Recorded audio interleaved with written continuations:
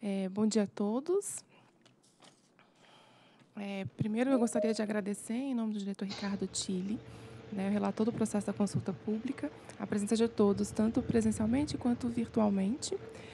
É, nós estamos fechando hoje a rodada de workshops promovidos pela SPE para aprofundamento da discussão do PEQI, cuja consulta pública foi aberta e termina no dia 22 de maio. E a audiência pública presencial ocorrerá no dia 10 de maio aqui na ANEL. Então, na segunda-feira, nós recebemos, nesse workshop, é, governo e consumidores... Estamos sem som. Opa! Só um minuto.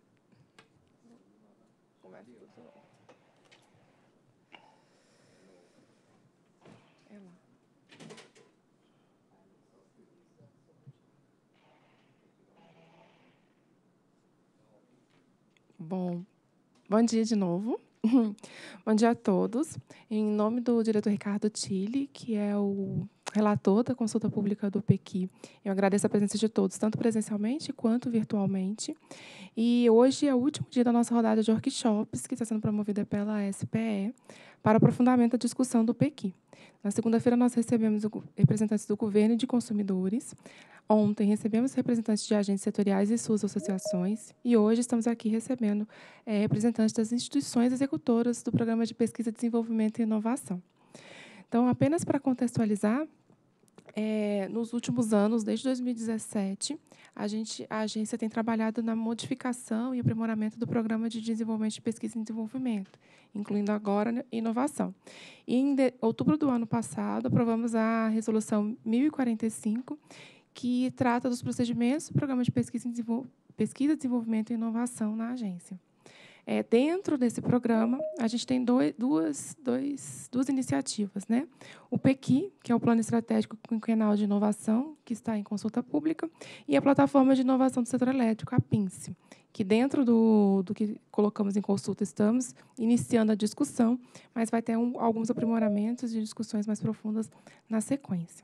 Então, o que é o PEQI?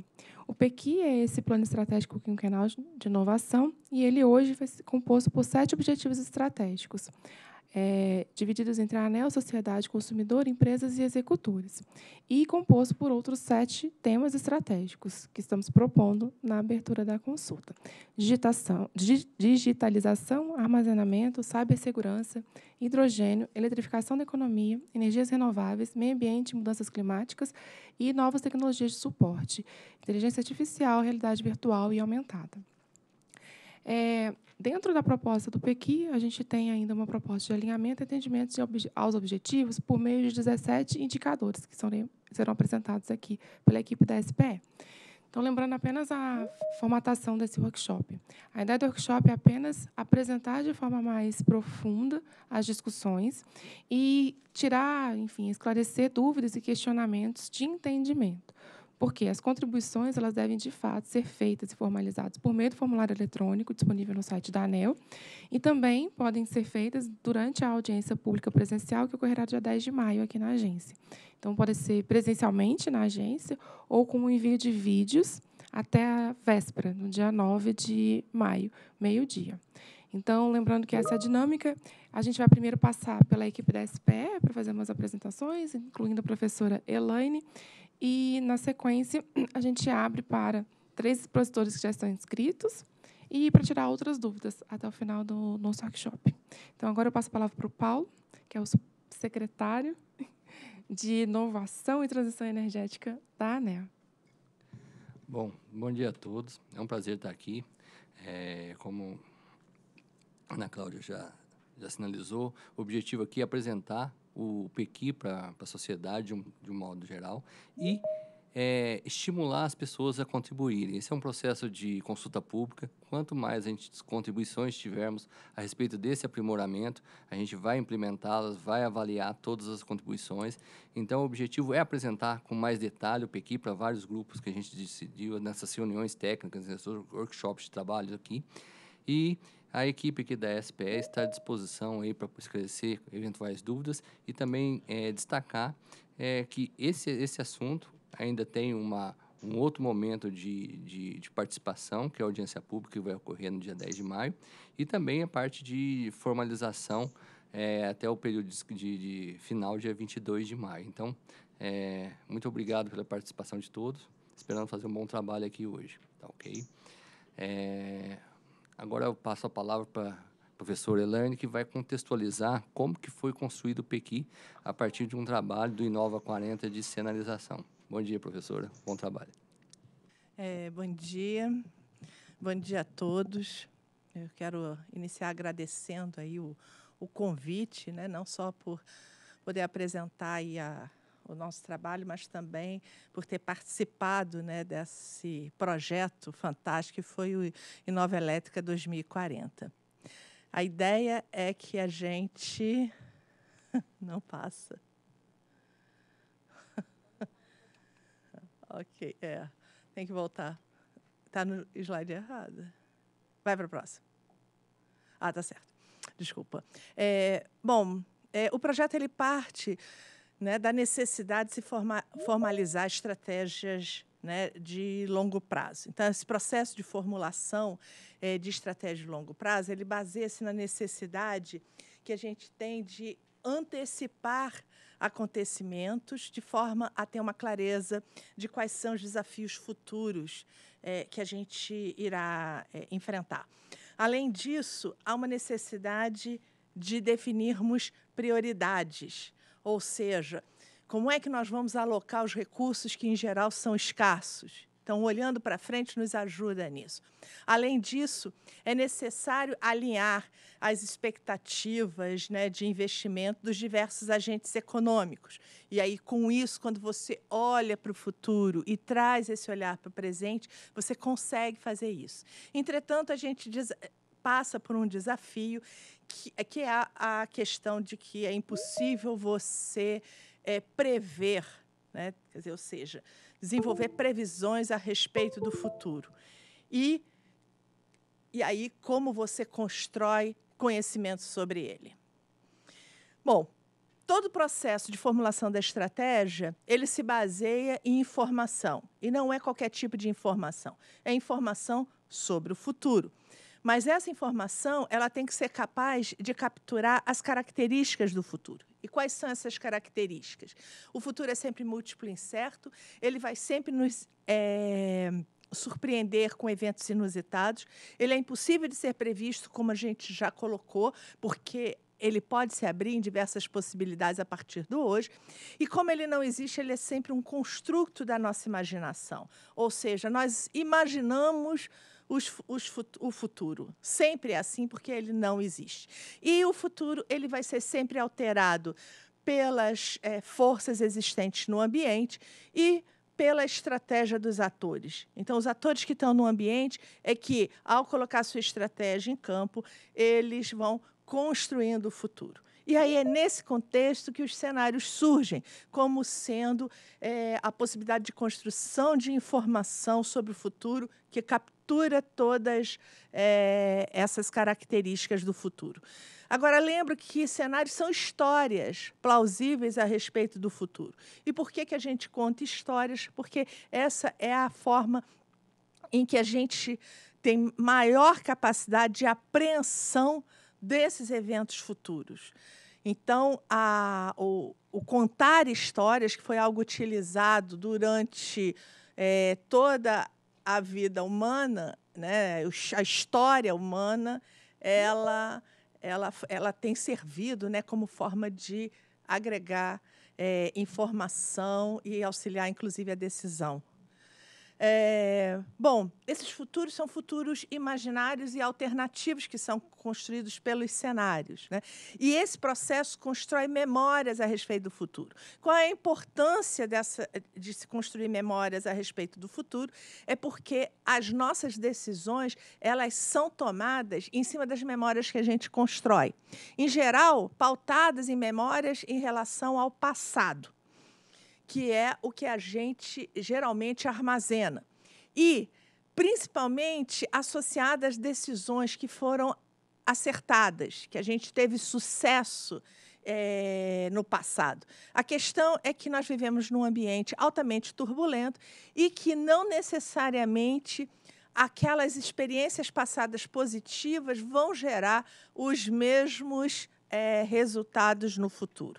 Os cenários, então, vão nos ajudar a pensar fora da caixa, a nos libertar do que a gente está vivendo hoje, porque ele vai levar a gente a olhar horizontes distantes, a criar memórias a respeito do futuro, a orientar o planejamento tanto de curto, médio e longo prazo, porque quando você constrói os cenários, você olha lá para frente, se posiciona no final do horizonte temporal, mas você conta a história partindo do hoje.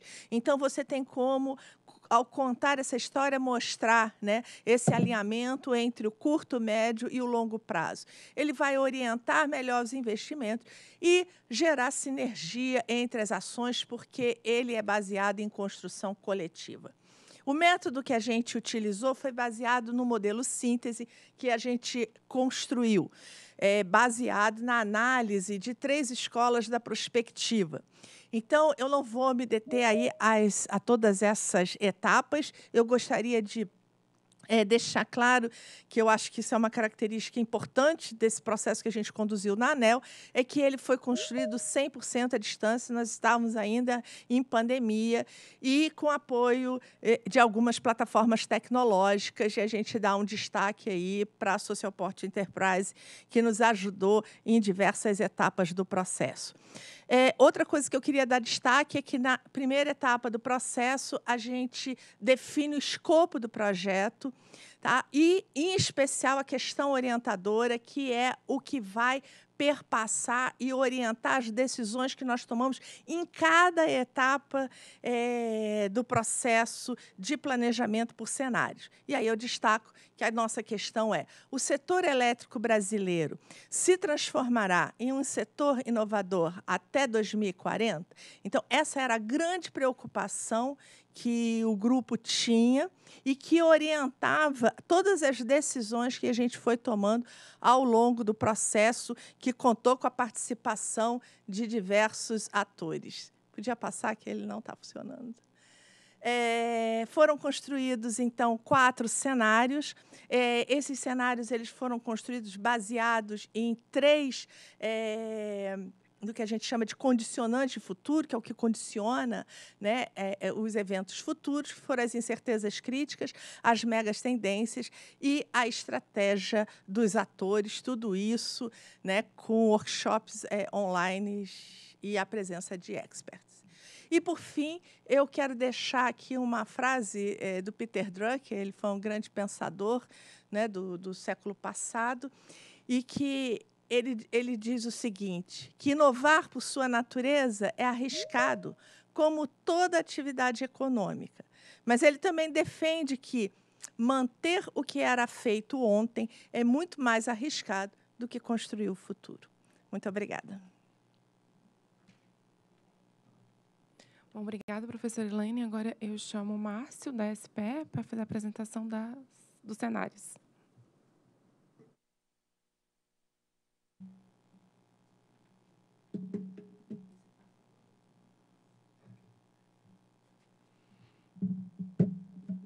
Você me ajuda aí?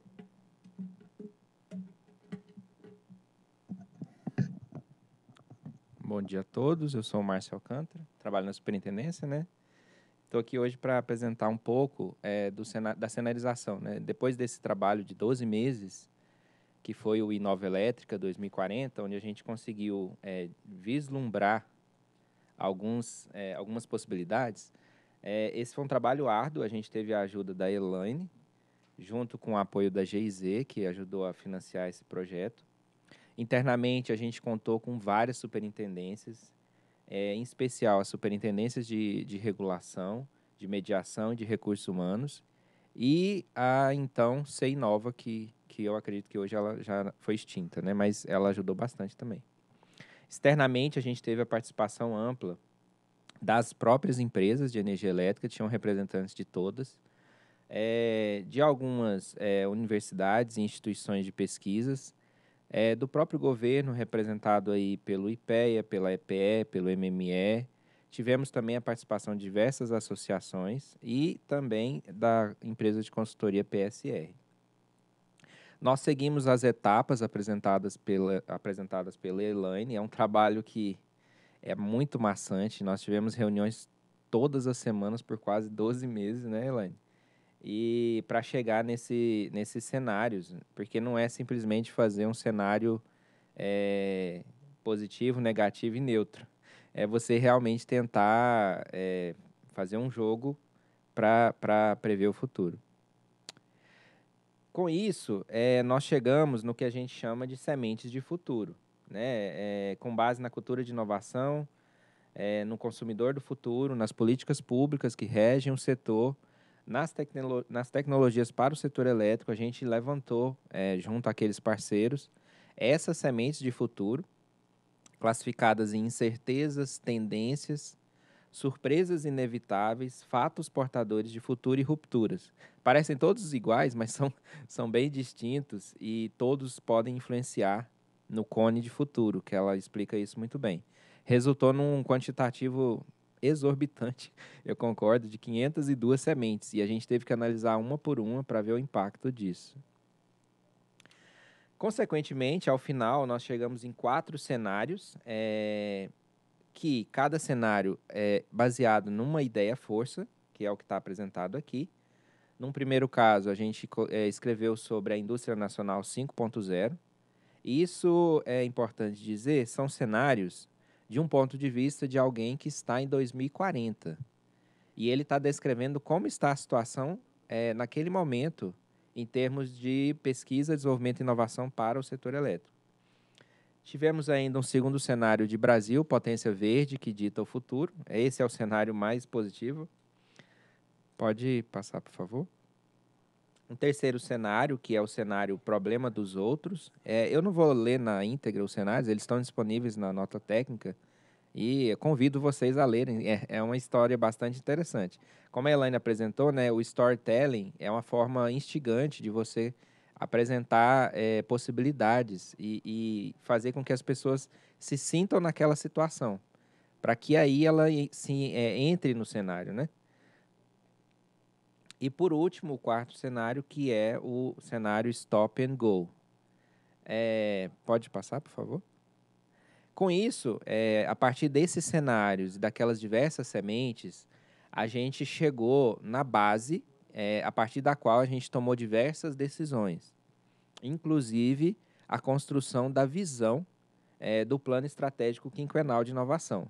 É uma visão ousada, né, onde nós é, pretendemos, com o esforço coletivo do setor elétrico, ser referência mundial em inovação em rede no setor elétrico no setor de energia elétrica, criando startups, que é quase um marco da inovação, né? Gerando os maiores impactos e sendo essencial para a melhoria da prestação do serviço de energia elétrica e atendimento ao consumidor.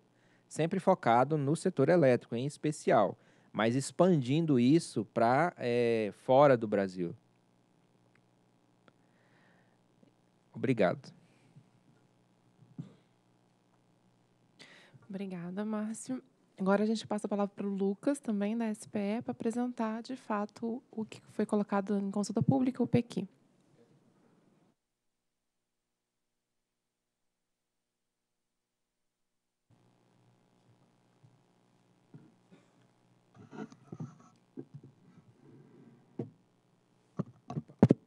Dia a todos.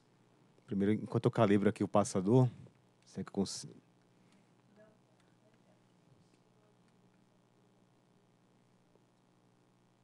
Bom, então vamos, vamos passa o slide todo aí, aí eu falo.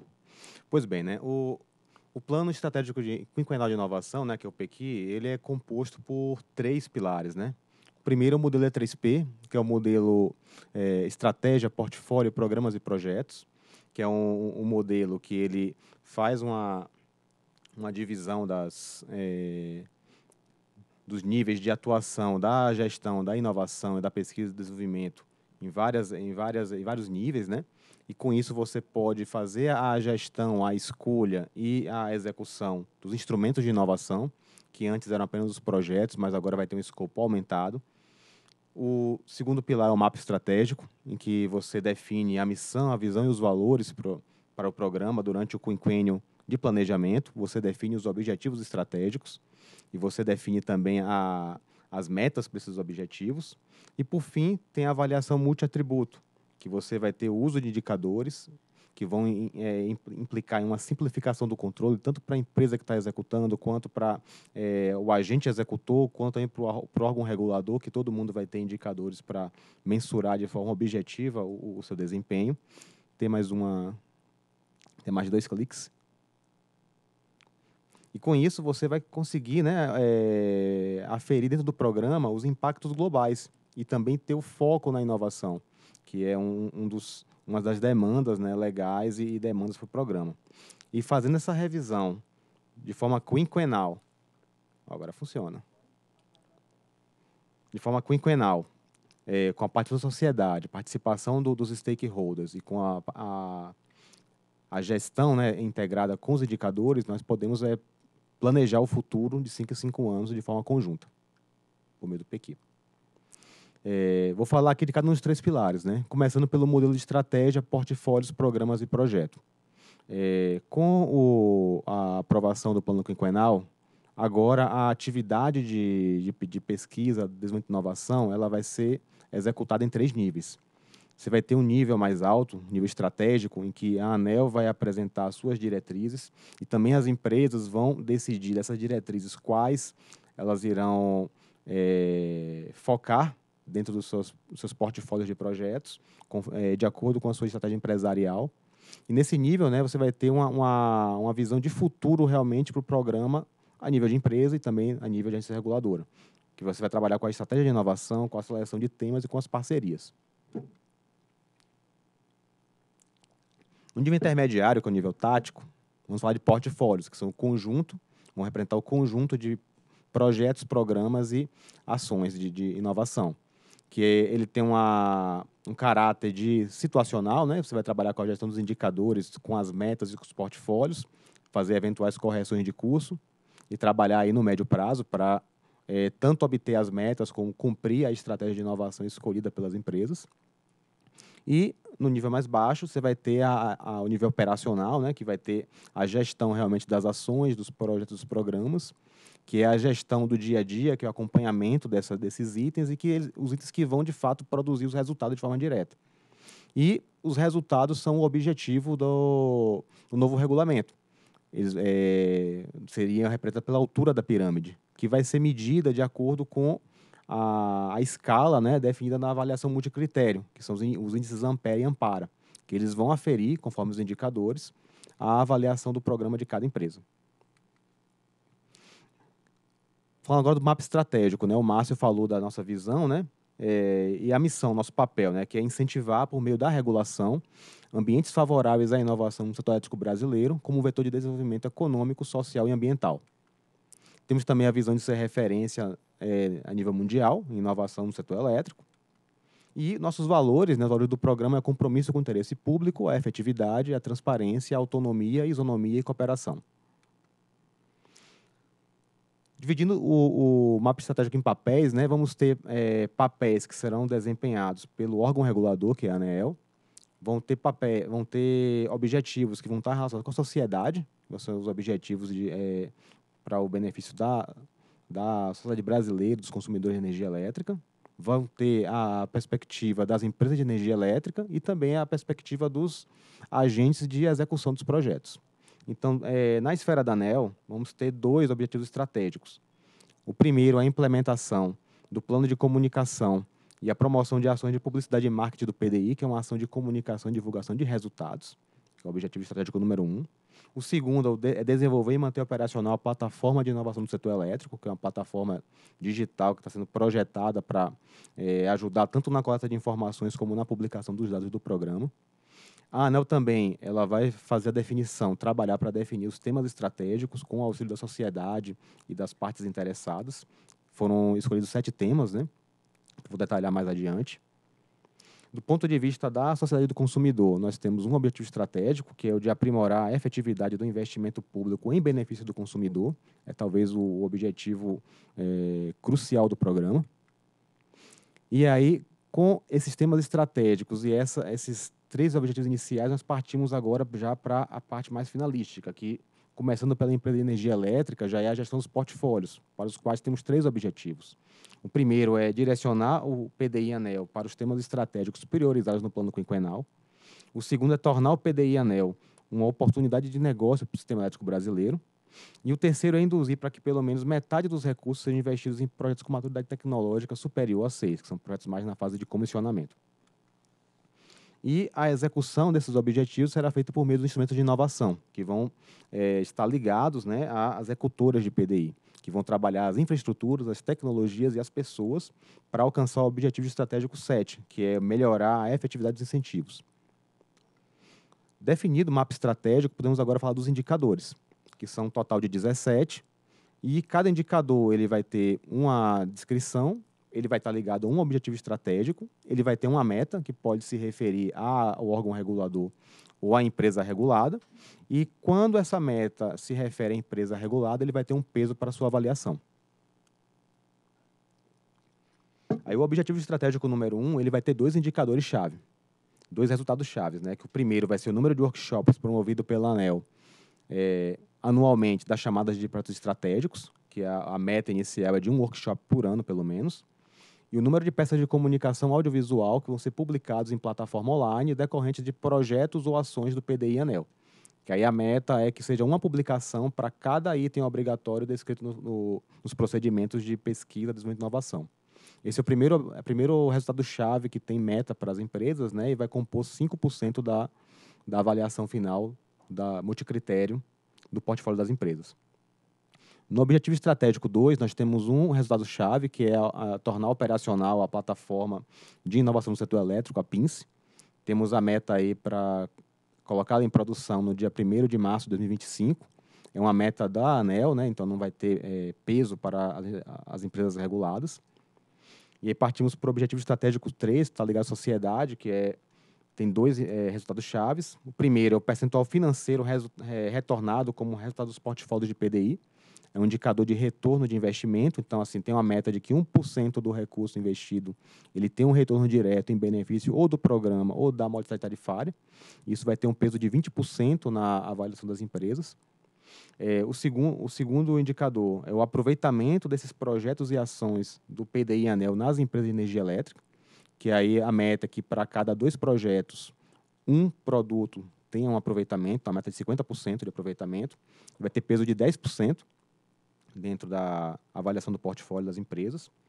Para o objetivo estratégico 4, vamos ter três indicadores. O primeiro deles é o percentual do recurso do PDI ANEL investido nos temas estratégicos priorizados no plano quinquenal.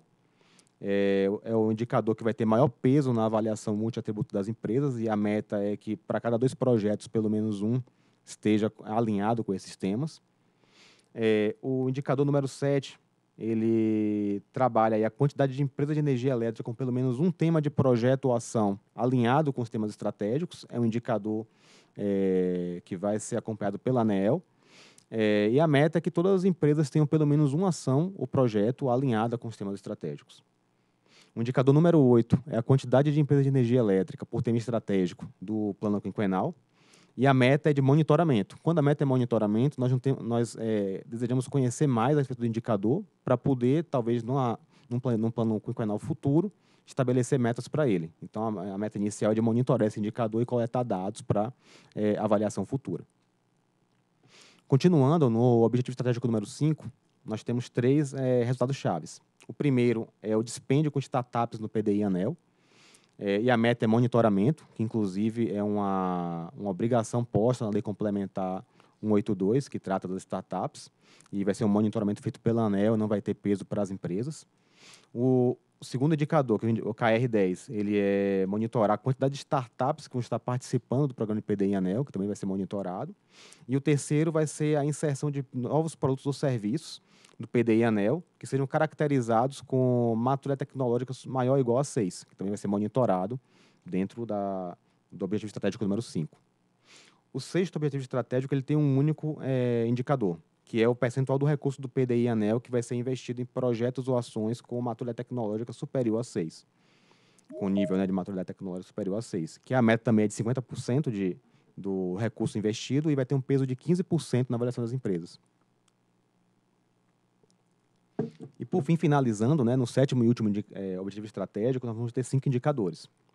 O primeiro deles é o percentual de recurso de terceiros em relação ao investimento regulado, que aí a meta é que para cada é, é, mil reais que sejam investidos pelo programa, 100 sejam investidos em contrapartida.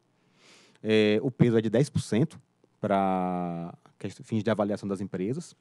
O segundo indicador é o número de titulações técnico-científicas obtidas em decorrência do programa, que aí o, a meta é que seja um quantitativo superior a 50% dos projetos é, da, desenvolvidos pelas empresas, né, com peso de 5% na avaliação final.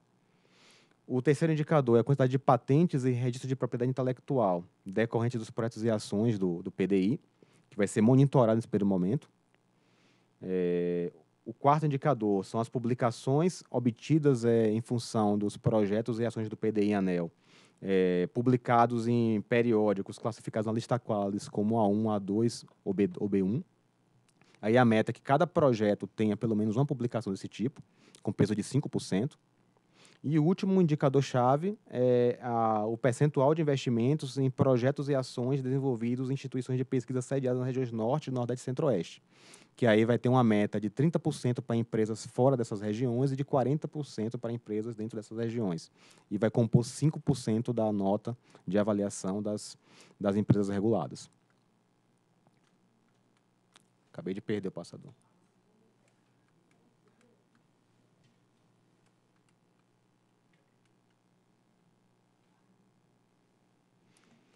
Então, é, os indicadores que têm peso, né, eles vão compor o indicador Ampere, que vai ser é, crucial na avaliação, que vai ser utilizado para fazer a avaliação dos portfólios das empresas. Né? Se fizer o somatório dos percentuais, vai dar 100%. E a informação importante aqui é que a empresa ela pode superar até um teto a sua meta, então ela pode compensar um eventual desempenho ruim em um indicador, ultrapassando a meta em outro. E o funcionamento dessa avaliação multiatributo vai ser muito simples. Você vai ter a coleção de indicadores que vão possuir pesos, né? Cada indicador ele vai é, resultar em um atributo que vai ser mensurado. Esse atributo vai ter uma meta. Então, a, o percentual de é, consecução dessa meta vai dar pontuação no atributo, que vai ser ponderado por aquela matriz de pesos. E o somatório dessa ponderação vai me dar a avaliação multiatributo do portfólio. Perdi de novo. É. e essa soma ponderada, né, ela, ela vai realmente é, levar a avaliação multiatributo do portfólio. Pode passar o slide. E o objetivo é que cada empresa, né, ela tenha ao longo do tempo e com uma, uma atualização aí trimestral e anual, um dashboard com seus indicadores. Então, ela vai conseguir fazer, ela vai conseguir acompanhar o andamento dos seus resultados. É, dessa vez, os resultados vão ser informados enquanto o projeto está sendo executado e não somente ao final do projeto. E a ideia é que as empresas consigam acompanhar de forma mais é, direta o seu desempenho e tenham capacidade de fazer ajustes de curso durante a execução do portfólio, seja por, pelo meio de modificação das ações ou pela criação de novas ações, para poder cumprir a meta posta no plano quinquenal. É, o reconhecimento de, de, recursos investidos né, vai, ser usa, vai ser feito por meio do indicador Ampere. E esses recursos, né, cada projeto, cada ação, ela vai ter um, um, um procedimento de auditoria realizado sobre ela, que vai verificar né, quais daqueles gastos estão de acordo com as normas contábeis e de registro, é, se aquele gasto foi comprovado, se aquele gasto foi feito de forma coerente, correta e de acordo com as normas internas da empresa e da ANEL. E o recurso que tiver dentro dessa, dessa dessas normas e, e, padrões, né, ele vai ser passível de reconhecimento. Quer dizer isso, recursos que a auditoria não reconhecer vão ser glosados imediatamente. Não vão participar, não vão ser passíveis de reconhecimento. Já os recursos que são passíveis de reconhecimento, eles vão ser multiplicados pelo índice Ampere, se ele for menor que 85%, ou eles serão integralmente reconhecidos para caso o índice Ampere seja superior a 85%. É, chegando aqui à, à, última parte da apresentação, né, é falar dos temas estratégicos, que são sete. O primeiro tema estratégico é selecionado foi a digitalização do, do sistema elétrico brasileiro, né? A ação de digitalização transformadora, que ela é transversal, que ela faz a integração, integra sistemas de energia, pessoas, sistemas de comunicações, equipamentos com equipamentos, equipamentos com pessoas e pessoas com pessoas. Isso tudo dentro do setor elétrico. Esse é o nosso primeiro tema. O segundo tema é armazenamento. Aí tratamos de qualquer tipo de armazenamento, armazenamento para fins de operação, é, sazonal, é, diversas tecnologias de armazenamento, excluindo o hidrogênio, que vai ter o tema próprio. O terceiro tema é cibersegurança, que trata aí da defesa é, dos ativos do setor elétrico é, ambiente de conectividade, de ameaças é, digitais, né? E de automação, protegendo o, setor elétrico de ataques e de mal funcionamentos decorrentes de, do uso é, inadequado, do uso mal intencionado da tecnologia. O quarto tema estratégico é o hidrogênio. E nesse tema é, vai constar é, as aplicações do hidrogênio ligadas ao setor elétrico, produção, transporte, a destinação final, tudo que estiver ligado, que apresente o hidrogênio como um elo de ligação do setor elétrico a outros setores da indústria e sociedade que hoje estão desconectados ou usam outra, outra fonte energética. Perdi, mas estamos no fim já. o quinto tema é a eletrificação da economia, que trata aí da você mudar o uso final para consumir eletricidade para fins de eficiência energética, para fins de melhor controlabilidade de processos e para fins de maior monitoramento de processos. O sexto tema é energias renováveis, meio ambiente, mudanças climáticas. Então aqui vai estar tá toda a, a a parte aí de fontes alternativas, é, eficiência energética, mitigação de externalidades ambientais e também monitoramento e mitigação de mudanças climáticas.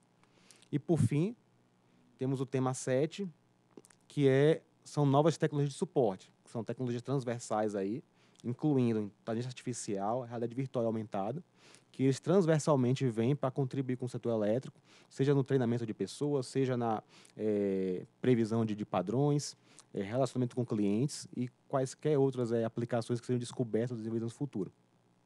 Mais um. Falando agora de próximos passos, né? É, foi feita a abertura da consulta pública agora em abril. Estamos é, caminhando para fazer os workshops e a avaliação das contribuições de abril a junho.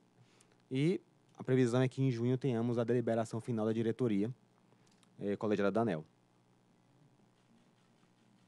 É, em relação ao período de execução, né, o planejamento inicial é que tenhamos seis meses, de julho a dezembro desse ano, para realizar a adaptação, fazer um, uma operação em beta com as empresas e com as executoras de projetos, para que a partir de janeiro de 2024 e até dezembro de 2028, é, o Ampere esteja ativo e fazendo monitoramento da, do plano quinquenal, mais de dois cliques. E em janeiro de 2029, vamos já estar tá colocando em operação o segundo plano quinquenal e em março de 29, fazendo, finalizando a avaliação e o reconhecimento dos investimentos feitos no primeiro ciclo. E com tudo isso, né, nós temos a, a, expectativa de resultados, né, de primeiramente aumentar a visibilidade do programa de PDI Anel em benefício do setor elétrico, das empresas, das, dos executores. É, realizar também um alinhamento estratégico é, dos temas e das ações com o, as diretrizes do plano quinquenal, melhorar a qualidade dos resultados de ciência e tecnologia, é, aumentar a quantidade de resultados de inovação e promover um incentivo à regionalização da inovação, por meio da descentralização das aplicações. Estendemos agradecimentos à equipe da, de pesquisa e inovação da SPE, também a, aos parceiros, professor Elaine, também a, a, Cooperação Internacional Alemã, que nos ajudou nesse, nesse, nesse projeto. Mais um. E agradeço a atenção, estamos abertos às contribuições e seus questionamentos e dos inscritos. Muito obrigado.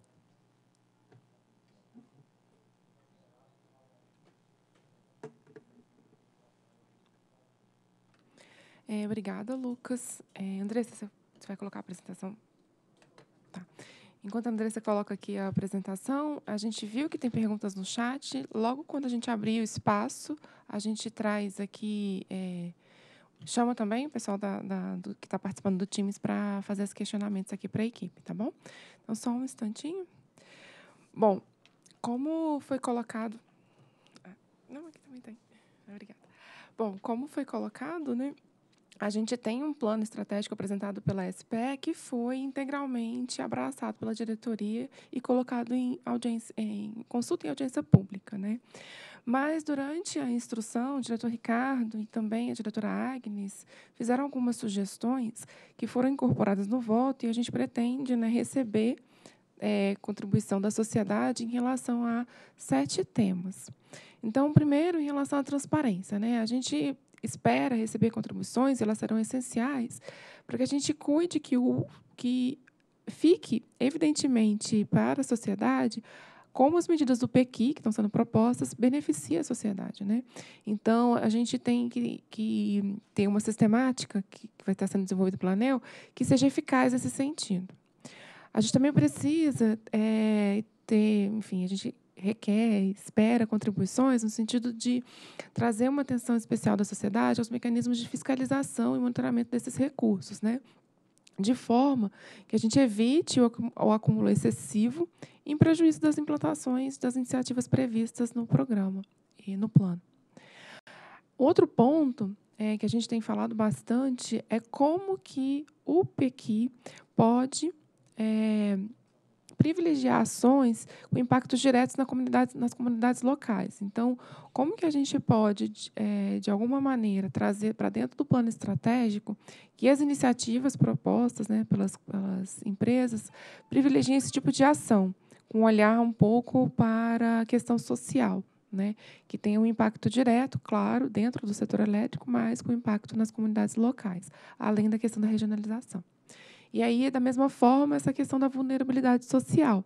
Então, que a gente receba contribuições né, é, em relação à necessidade e à eficácia desses dispositivos em relação às ações com impacto direto dos consumidores mais necessitados, aqueles que estão hoje em condições de vulnerabilidade social. Um outro ponto que a gente tem julgado muito relevante, foi colocado pelos diretores é, na condução inicial da consulta, é a questão dos problemas presentes, né? Que o PEQI, além de se voltar sempre para os problemas futuros, ele pode também tentar atender, por meio de projetos de inovação, um conjunto de problemas mais próximos dos consumidores, que estão hoje é, na realidade deles, que são, sejam problemas concretos e imediatos, para terem soluções concretas e imediatas por meio de iniciativas é, inovadoras. Né? Então, nesse ponto, a gente tem destacado bastante o custo do serviço de energia para famílias mais pobres.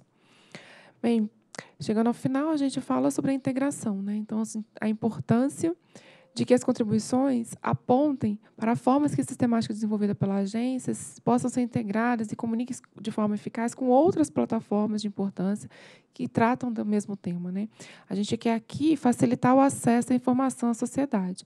Então, menos do que fazer informações redundantes, é trazer a sinergia de eventuais plataformas que já existam né? e possam ser integradas com as plataformas com o PINCE, a PINCE que a gente está pensando, e outras informações que a gente pretende deixar mais transparente para a sociedade. E, por fim, a gente traz sete temas estratégicos, né, como foi apresentado pelo Lucas, mas existe uma resolução normativa da CNPE de 2021 que fala também sobre outras é, orientações em relação à pesquisa, desenvolvimento e inovação no setor de energia como um todo, não apenas setor elétrico, mas setor de energia. Então, que a gente tenha, venha da sociedade né, um escrutínio em relação à nossa proposta com o que está proposto e determinado na resolução normativa do CNPE. Então, esses seriam os comentários adicionais, em relação a eles que, além do que está colocado no plano, a gente espera receber contribuições. Então, como eu coloquei no início, a dinâmica aqui vai ser, a primeiro, a apresentação dos... São três é, inscritos para falar presencialmente. Na sequência, a gente abre para alguns questionamentos que possam vir do Teams, e aí, à medida que foram feitos questionamentos, a equipe da SPE pode respondê-los. Então, a ideia aqui é trazer, esclarecer as dúvidas. Eventuais contribuições, de fato, para o processo, né, o reforço deve ser feito por meio do formulário eletrônico e ou durante a audiência pública presencial, no dia 10 de maio. Então, eu vou começar aqui. O primeiro inscrito é o professor José Alexandre Araújo, da UNB. Por, por favor.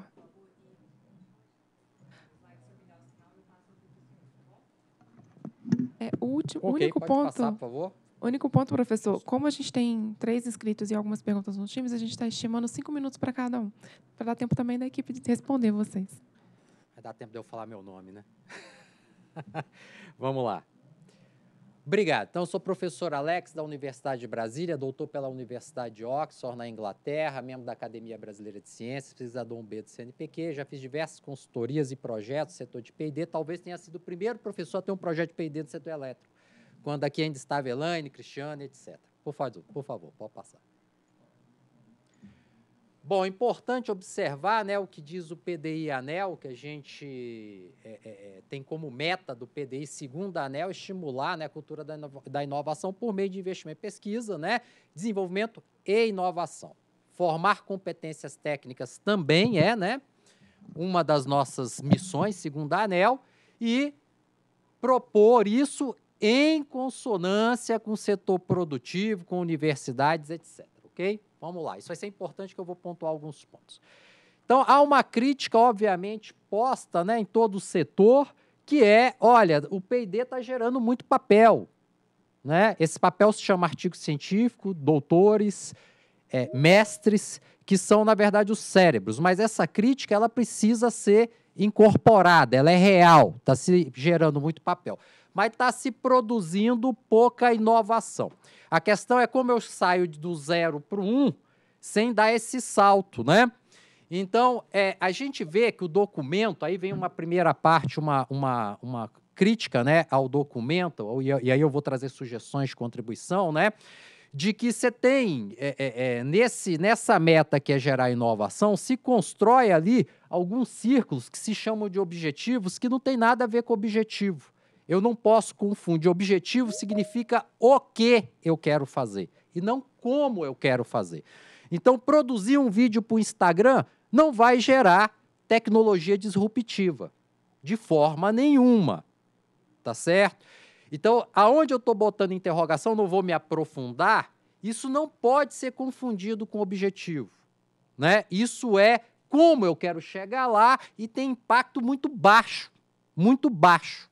Eu tenho que ter o foco onde eu quero chegar. E para fazer inovação, eu preciso produzir tecnologia disruptiva. Aonde está vermelho, a interrogação vermelha, tem um potencial destruidor de conquistar inimigos ao PD de todos os cenários. Quando você tenta monetizar por meio do chicote a produção de dinheiro através do PD, você conquista inimigo de todos os lados. Eu vou explicar um pouco mais né, essa, nessa nossa tentativa de contribuir. Pode passar, por favor. Então, é importantíssimo, né, e a gente agradece à agência que traga um documento e tente fazer um planejamento estratégico. Isso tem a ver, tem que existir para que a gente possa avançar. Isso é importantíssimo. A gente agradece à agência por trazer essa contribuição, né? Mas a gente está com uma série de problemas que a gente precisa sentar e discutir, senão a gente pode, ao tentar, né, aquele negócio do remédio, né, dependendo da dose, ele deixa de ser remédio e vira veneno, tá certo? Sistema de inovação, ele é multifacetado. Qualquer, qualquer documento que fale sobre inovação vai apresentar aquelas, aquelas vertentes. O que, que a gente está propondo? Pegar o dinheiro das empresas na seta vermelha e trazer para os empreendedores, que seriam as startups. Óbvio que a startup é importante no setor produtivo, óbvio que ela é uma fonte de inovação. Agora, você deslocar recursos da ordem de 500 milhões de reais ano para grupos de empresas formados, na sua maioria, por dois jovens que precisam ter uma formação, num setor em que os problemas principais são de engenharia e não de escalabilidade dos produtos, que é onde as startups mais têm progresso, pode se tornar um erro evidente. Tá certo? Você tem problema da modicidade. Por que nós estamos falando da modicidade? O documento, da forma que ele está, ele quer obrigar os empresários do setor, e eu não sou empresário, né, então não tenho objetivo de defender ninguém, a ter obrigatoriamente um sócio que ele desconhece, que ele vai passar a conhecer amanhã, e esse sócio tem que ser bem sucedido e gerar recurso. E o Estado está falando: olha, agora você vai ser obrigado a fazer isso por meio de um chicote. Porque senão eu te obriga a investir mais. Isso é um absurdo, gente. Me desculpa, mas isso é um absurdo. A forma de incentivar isso, a modicidade, é por meio de incentivo. Então eu posso chegar e falar: olha, desde que o teu projeto gere um milhão de reais como resultado do teu P&D inovação, eu te dou um desconto no P&D até 10%. Ano que vem você deixa de investir 10, no outro ano talvez 15. Põe um teto, obviamente nós não queremos que o recurso se esgote, mas você faz isso por meio de incentivo e não de chicote. O que, que gera disrupção? Estou levando ali, se puder, é, é, depois eu vou voltar ao slide, eu estou acabando, né? Eu sei que eu estou aqui no meu fim. Mas eh, se puder mudar um slide. Não, para frente, por favor. Olha lá. Quando os Estados Unidos teve o seu primeiro apagão com 30 milhões de pessoas, o executivo e o Congresso se reúnem para criar o EPRI, um laboratório impactante que todo mundo no mundo conhece. Tá certo? Ali se faz pesquisa, ali se faz PD, ali as empresas americanas vão pedir ajuda, porque energia elétrica é uma questão de engenharia. Tá ali, ó, os nossos engenheiros, qualquer coisa que precisa fazer, precisa lá na China, no CEPRE, que de maneira muito inteligente vai lá e copia os americanos.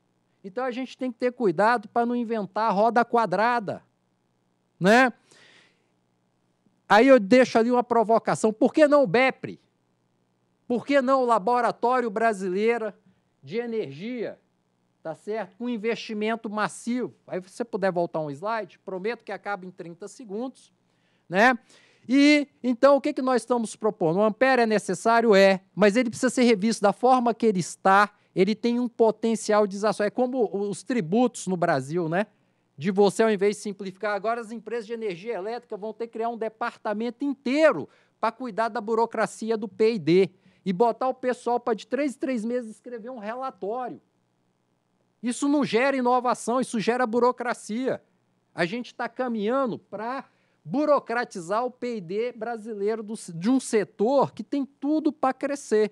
Mas a gente precisa conversar com o pessoal que faz a engenharia na veia, não só com o pessoal que faz documento de né, prospecção, de engenharia de produção, que trabalha na parte de. Né? Então, eu tenho que ter um equilíbrio do documento. E eu sinto que não há esse equilíbrio. Há uma falta grave nesse equilíbrio. E pelo que nós estamos conversando, isso é uma unanimidade nas universidades e com todas as empresas que eu mantenho relação, consultoria no setor elétrico. O documento está fortemente desequilibrado e tem um potencial de unir todos contra essa proposta. Então, assim, é, é, eu peço né, gentilmente que nós possamos refletir de mãos dadas para se chegar a um documento mais equilibrado, que irrigue o sistema, o ecossistema de inovação de uma maneira equilibrada e que leve de fato a iniciativas que podem gerar disrupção. Me desculpa, mas é, é, é, apesar de ser as, as, as, startups serem empresas importantes no processo, elas não fazem isso. Eu acho que quem está pensando nisso está equivocado.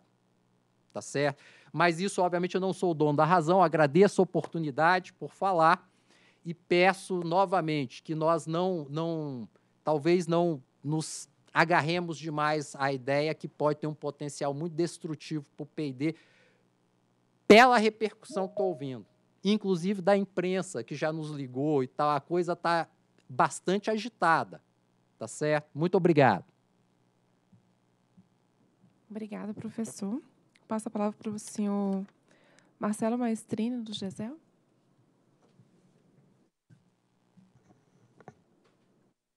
Bom dia. É, meu nome é Marcelo Maestrini. Você vai botar a apresentação aí? Tá bom. Pode passar para o primeiro. Então, aqui, eu queria fazer a contribuição da gente, seria em forma de quatro perguntas, tá? Então, a primeira aqui, fazendo uma primeira consideração, na leitura do Pequi, né, ele traz alguma dificuldade para empresas de pequeno porte, tá? É, isso a gente percebeu. E tem recursos limitados, tá? Dificuldade para formar portfólios, tá? Então, assim, é, a dúvida da gente seria se não deveria ter é, uma abordagem especial para a empresa pequena, tá? Ter um recurso mais, mais restrito. É, eu posso fazer todas as perguntas e no final você responde? Tá. Então, próximo slide, por favor. O segundo aqui está ligado, é, pegando aqui a modelagem né, é, 3P do, do, do, do e as inovações, a, a, ideia né, de querer trazer inovação para o setor, tudo, tudo essa, esse planejamento tem sido, é, foi feito, um estudo é, legal, é, a gente tem aqui duas recomendações. Tá? É, a primeira, explicitar no PEQI e no próprio PDI a forma que será utilizada é, na articulação dos projetos e para apuração do, dos indicadores de resultado. E a segunda seria disponibilizar na PINS, no PINS o manual de orientação para descrição do, do portfólio, programas e projetos, bem como a forma detalhada da apuração dos indicadores. Então, assim, a questão, por exemplo, acho que vocês já falaram na reunião de ontem, vai ter um, um documento né, para poder fazer um enquadramento tecnológico, né, mas também ter esse detalhamento com exemplos seria algo bem importante, porque o documento, do jeito que ele está, ele deixa margem para subjetividade. Próximo, por favor. Três aqui. É, então, em relação ao Ampara, né, que foi concebido lá para fazer o ranking entre as empresas, né, é, você tem lá no item 4.42 né, do ProPDI, que ele apresenta a metodologia base, a matemática a ser utilizada. Então, a gente tem outra recomendação, né, que é detalhar essa metodologia, tá? Então, apresentando exemplos, novamente, aqui, é, principalmente em relação à clusterização, né, de como é que isso vai ser feito. É, qual o método lá que vocês vão... Você até coloca lá alguma coisa do método, mas se vocês já estão pensando em fechar, por exemplo, classe já de antemão, então, porque dependendo do método, você pode fechar já, pré-definir ou se isso vai vir uma resposta automática. Só um exemplo, tá? É, então, e bem como a definição de empresa ideal, tá? É, isso a gente está pedindo alguma, alguma, algum exemplo, alguma exemplificação maior. E a última, por favor. É, também aqui, pegando aqui no alcance né, dos índices de maturidade, né, acima de 6, né, então essa questão do, do TRL, tá? É, e as inovações que a gente tem, tem contribuído, o GESEL, por exemplo, a gente atua muito na questão da contribuição regulatória, a gente tem é, é, subsídio para a regulação, para até para essa própria PDI, né? a gente fez um, alguns projetos. É, e aí a gente tem a dúvida que é a seguinte, como é que vai ser feito, como é que isso se atrela, por exemplo, à inovação regulatória, essa questão do TRL. TRL fala sobre tecnologia, tá? É, mas a tecnologia ela precisa, por exemplo, de algumas. Quando você fala de sistema de inovação, você tem algumas, é, alguns eixos temáticos ali, alguns entes ali, por exemplo, como a ANEL, a regulação, a, a, coisa toda ali. Você mercado, por exemplo, você precisa de algumas adaptações àquela tecnologia para ela ser efetivamente, ela ser efetiva, né? Então isso não está muito claro, tá, na regulação. Se, se esse tipo de projeto para poder trazer esse, esse, esse conhecimento, esse enquadramento, essa mudança, proposta de mudança de lei, se isso pode, como é que vocês estão tratando esse tipo de, de projeto. E é isso. Obrigado. Obrigada, Marcelo. Eu vou chamar por último agora Guilherme Cardim, do IAT.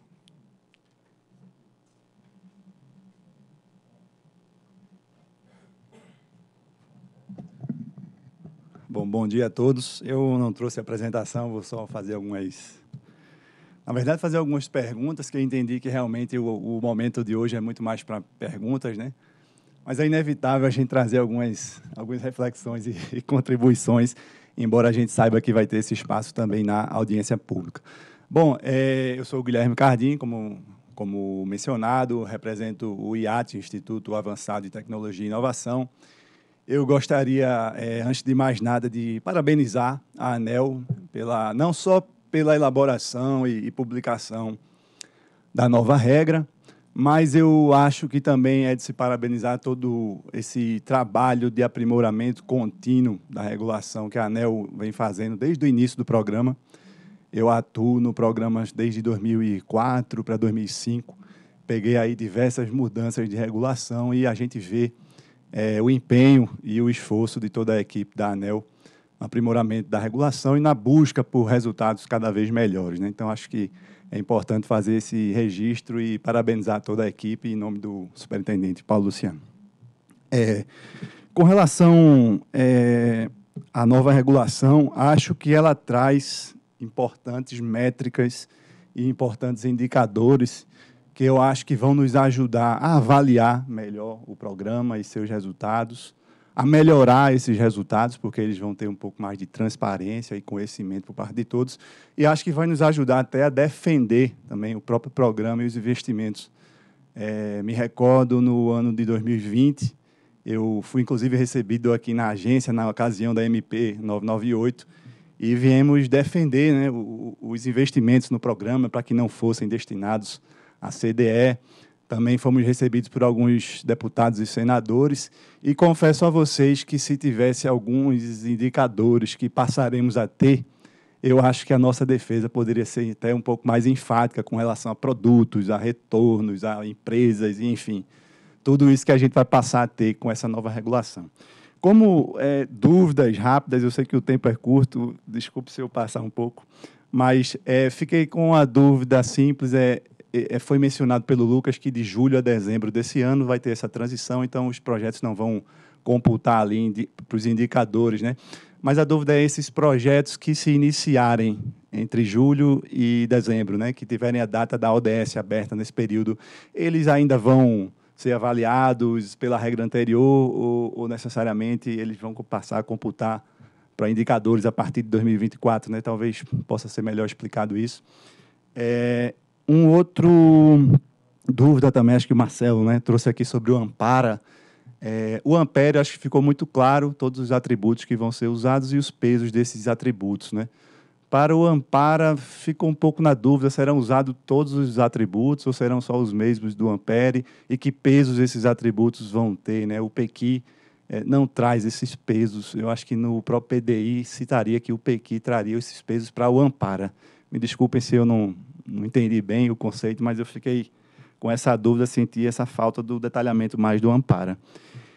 E trago uma dúvida também sobre a questão do investimento nas startups. Né? Entendemos que esse é um novo instrumento de inovação trazido pelo ProPDI e o PEQI, o próprio ProPDI também, ele traz um conceito de startup, que seriam empresas nascentes ou de operação recente, é, além de outras características. Eu acho que esse conceito pode levar algumas incertezas e algumas inseguranças, né? O que seria a operação recente, né? Talvez focar no, na inovação do produto ou no modelo de negócio inovador, talvez seja muito mais interessante do que no tempo de operação da empresa, né? Da startup. E também ah, traz uma possibilidade das empresas investirem não só nas startups como executoras de um projeto, mas também na escalabilidade dessa startup, né? E aí a dúvida que fica é a seguinte: é, a escalabilidade da startup pode surgir vários tipos de investimento. Né? Alguns deles a gente poderia até enquadrar facilmente nas categorias de investimentos que são feitos hoje nos projetos, como, por exemplo, equipamentos, consultorias de marketing jurídico, enfim. Seriam alguns tipos de investimento, mas outros talvez não se enquadrem tão facilmente nas categorias que se usam hoje Vou dar algum exemplo, sei lá, abertura de escritórios regionais, de comerciais, é, é, o próprio capital de giro de uma, de uma startup que seria necessário para essa escalabilidade. Então, esses investimentos eles serão fiscalizados e auditados individualmente, tal qual se faz hoje nos projetos, ou o, o, recurso, o recurso que a, a startup utilizar para escalabilidade vai ter um outro tratamento, sabe? E, por fim, para não me alongar, aí só como uma contribuição mesmo, e talvez até uma preocupação, talvez é um ponto que a gente acha que o PEQI e o Ampere talvez não enderecem tão adequadamente. É, a Lei 991 ela traz a, a, obrigatoriedade do investimento em pesquisa, né, um percentual da rol da empresa, e ela traz também a obrigatoriedade de que um percentual dessa obrigação seja cumprida em instituições do Norte, Nordeste e Centro-Oeste.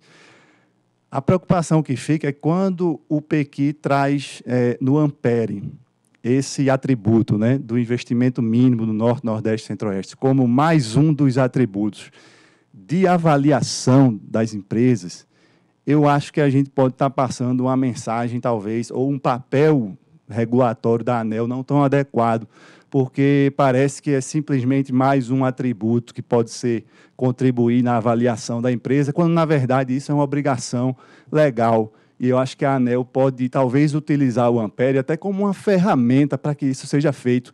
Eu acho que a empresa que cumprir esse mínimo obrigatório, aí sim ela passa a pontuar positivamente no Ampere. Mas do jeito que está hoje, qualquer percentual que se invista nessas regiões, multiplicado por aquele peso, vai contribuir positivamente para o Ampere. Menos ou mais, mas vai contribuir. E eu acho que, como regulador, eu acho que a ANEL pode pesar um pouco mais nesse sentido, para que a lei seja de fato cumprida. Né? A lei pode ser, ser questionada, eu acho que há visões diferentes sobre esse ponto, mas enquanto ela é lei, vale a máxima que a lei se cumpre, né? não, não se discuta. Então, o papel da ANEL nesse sentido pode ser reforçado à medida que esse, esse, critério, esse aspecto não seja mais uma, um atributo de avaliação que pese positivamente no, no Ampere. É, bom, desculpe se eu me alonguei, muito obrigado aí pela, pelo espaço.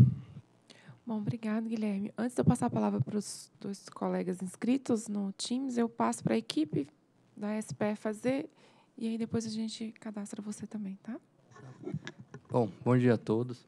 É, gostaria de agradecer as contribuições que a gente recebeu aqui. Eu acho que é importante. A gente vem nesse processo de construção e aperfeiçoamento do programa já faz, em termos, uns quatro a cinco anos. A gente fez duas análises de impacto regulatório. A gente fez a consulta pública agora, que, que foi aberta do Pequi. O objetivo é receber contribuição, tá? Eu acho que críticas são bem-vindas. A gente vai analisar as críticas e, se for razoável, se tiver pertinente, tiver justificativas e tiver alternativas para essas críticas, a gente vai incorporar no programa. Eu acho que o objetivo de ter essas reuniões técnicas, esses workshops que a gente está fazendo aqui, é receber contribuições mesmo. A gente não é o dono da verdade. A ANEL nunca foi o dono da verdade. A gente sempre abre para contribuições e ter as contribuições. E questões vão ser é, é, alinhadas para poder ter o objetivo final o investimento, o investimento do, do, realizado, ter resultados, tanto acadêmicos como de produtos e serviços e avanços. O objetivo é avançar. É, eu, eu, falei na, na reunião de ontem, quando eu entrei na ANEL, em 98, faz 25 anos, amanhã, próximo mês, e o diretor-geral à época era o diretor José Mário. E ele falou: a gente está construindo um novo. A ANEL construiu um novo. A ANEL é, se consolidou nesses últimos 25 anos. E o que a gente está fazendo aí, aqui é isso: a gente está construindo um novo programa de pesquisa, desenvolvimento e inovação. E a gente não vai construir sozinho. A gente precisa da sociedade, precisa das empresas participantes do programa, precisa da, das instituições de pesquisas. Então, o objetivo aqui é receber as contribuições. Aí, lógico, aqui é um, um momento de reunião técnica, de tentar esclarecer alguns pontos que talvez dão dúvidas, eu vou passar até para a equipe esclarecer os pontos, mas eh, tem que estar tá formalizado no documento final de, de, de, de recebimento de, de contribuições da consulta pública, via formulário eletrônico, tá? Então, e, ou na audiência pública do dia 10. Então, eu solicito para vocês é, so, é, realizar essas contribuições formalmente para gente, para a gente poder responder a cada uma de, da maneira mais adequada possível, tá ok? Aí eu vou passar para o Lucas e para o Marcos, se quiserem fazer algumas contribuições mais específicas do documento, concordo com alguns pontos que foram levantados aqui. Talvez a gente tenha que esclarecer mesmo, mas eu passo, se vocês quiserem fazer alguma observação, antes de passar para o pessoal que está online. Certo. É, primeiramente, agradecer aí as contribuições. Né? O objetivo aqui realmente é ouvir, é ver a opinião, é, que essas opiniões também estejam presentes nas contribuições é, formais. É, em relação à matriz de peso, foi criticada, né? eu acho que a, o objetivo realmente é ver para cada faceta da sociedade qual seria a matriz de peso que eles recomendam, qual, qual seria a, os critérios que deveriam ser pontuados. Acho que é importante. Aquela matriz ela não é imutável, não é, ela, ela pode ser revista ou, os pesos revistos. É, em relação à informação aí da, do período transitório, né? É, vai ser um período de seis meses para, primeiro, o, o, a plataforma de inovação que tem até pergunta no chat a respeito dela, a plataforma de inovação ela vai estar tá com previsão de entrada em 2025. E vai ter um período transitório, nós vamos colocar novos formulários para é, serem encaminhados para cadastrar os projetos.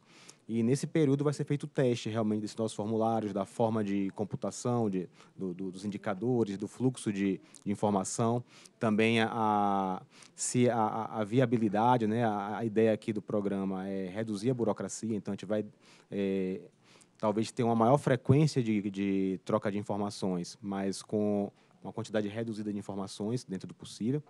E em relação ao a, a contribuição da, do, dos, da, dos institutos, né? A gente tem aí a, a essa questão do, do, da ponderação do peso para poder trabalhar essa, esse incentivo e assim foi adotada uma metodologia linear de ponderação. Essa metodologia linear ela pode ser mudada para um, um, alguma, alguma forma não linear, ou até com um stop em um gol. Isso é possível, a gente aguarda a contribuição. Muito obrigado. Bom dia. É, recebemos muitas contribuições importantes. Agradeço a essas contribuições. É importante lembrar que esse processo não começou nesta consulta pública, né? A gente teve desde a construção dos instrumentos de inovação em 2017, 2018, até o aprimoramento do regulamento em 2020 e até 22, que foi aprovado no dia 4 de outubro. E agora um plano estratégico que, que vem coroar esse trabalho. Então não, não é uma coisa que começou ontem, assim. Então, existiram diversas oportunidades de se mudar o modelo. A questão que foi levantada do EPRE, né? A gente até pensou uma vez nesse modelo, mas a gente entendeu que não cabia. Referente às outras contribuições, é, em especial sobre o Ampara, é, que no PEQI ele não, não é colocado, mas ele vai ser um índice utilizado pela agência para efeito de comparação entre as empresas. A princípio, é, vão ser utilizados os mesmos pesos e os mesmos atributos. Em especial, quando a gente é, construir o, o Prêmio Anel de Inovação, ele deve ser bem focado, e, e isso vai ser também um objeto de outra consulta pública, que isso vai ficar melhor detalhado.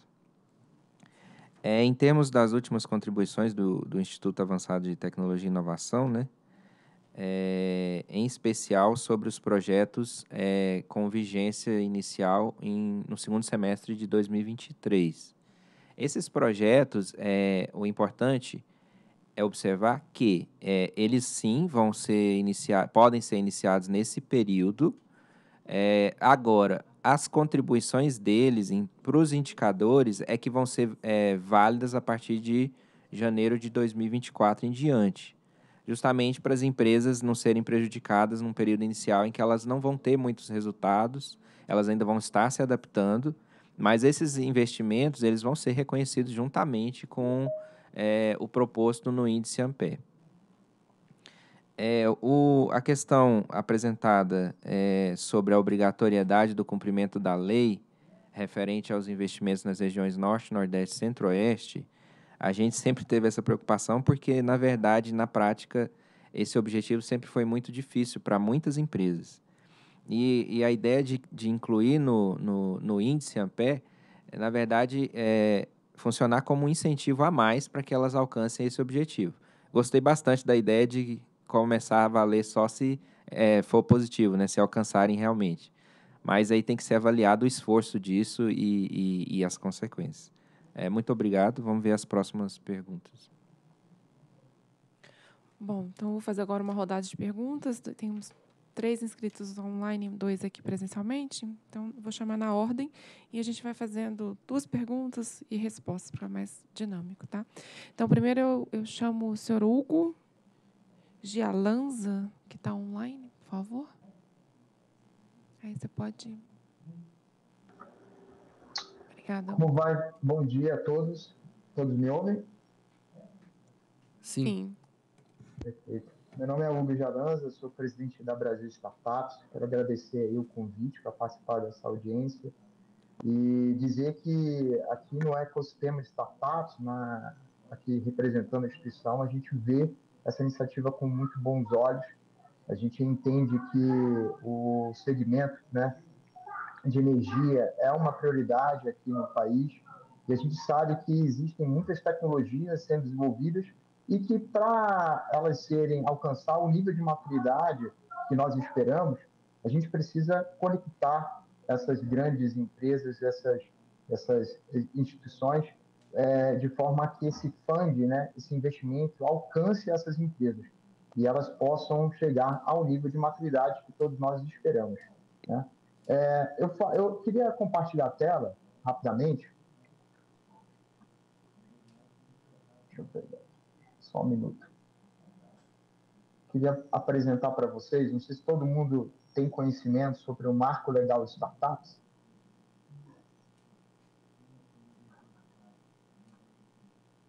É, no marco legal startups, espero que todos estejam vendo, no capítulo 4, né, o, sobre o fomento à pesquisa, ao desenvolvimento e inovação. No artigo 9, as empresas que possuem obrigações de investimento em pesquisa, desenvolvimento e inovação decorrente de outorgas ou de delegações firmadas por meio de agências reguladoras ficam autorizadas a cumprir seu compromisso com aporte de recursos em startups por meio de fundos patrimoniais, que trata da Lei 3.800, né, destinados à inovação na forma de, do, do regulamento, fundos de investimentos de participação FIP, né, que é um, um modelo aí, um, um, veículo de investimento para você investir em, em startups nascentes é, limitadas, né, é, o FIP Capital Semente, né, que é um instrumento que foi criado, né, não tem muito tempo, mas ele é uma alternativa para esse tipo de investimento.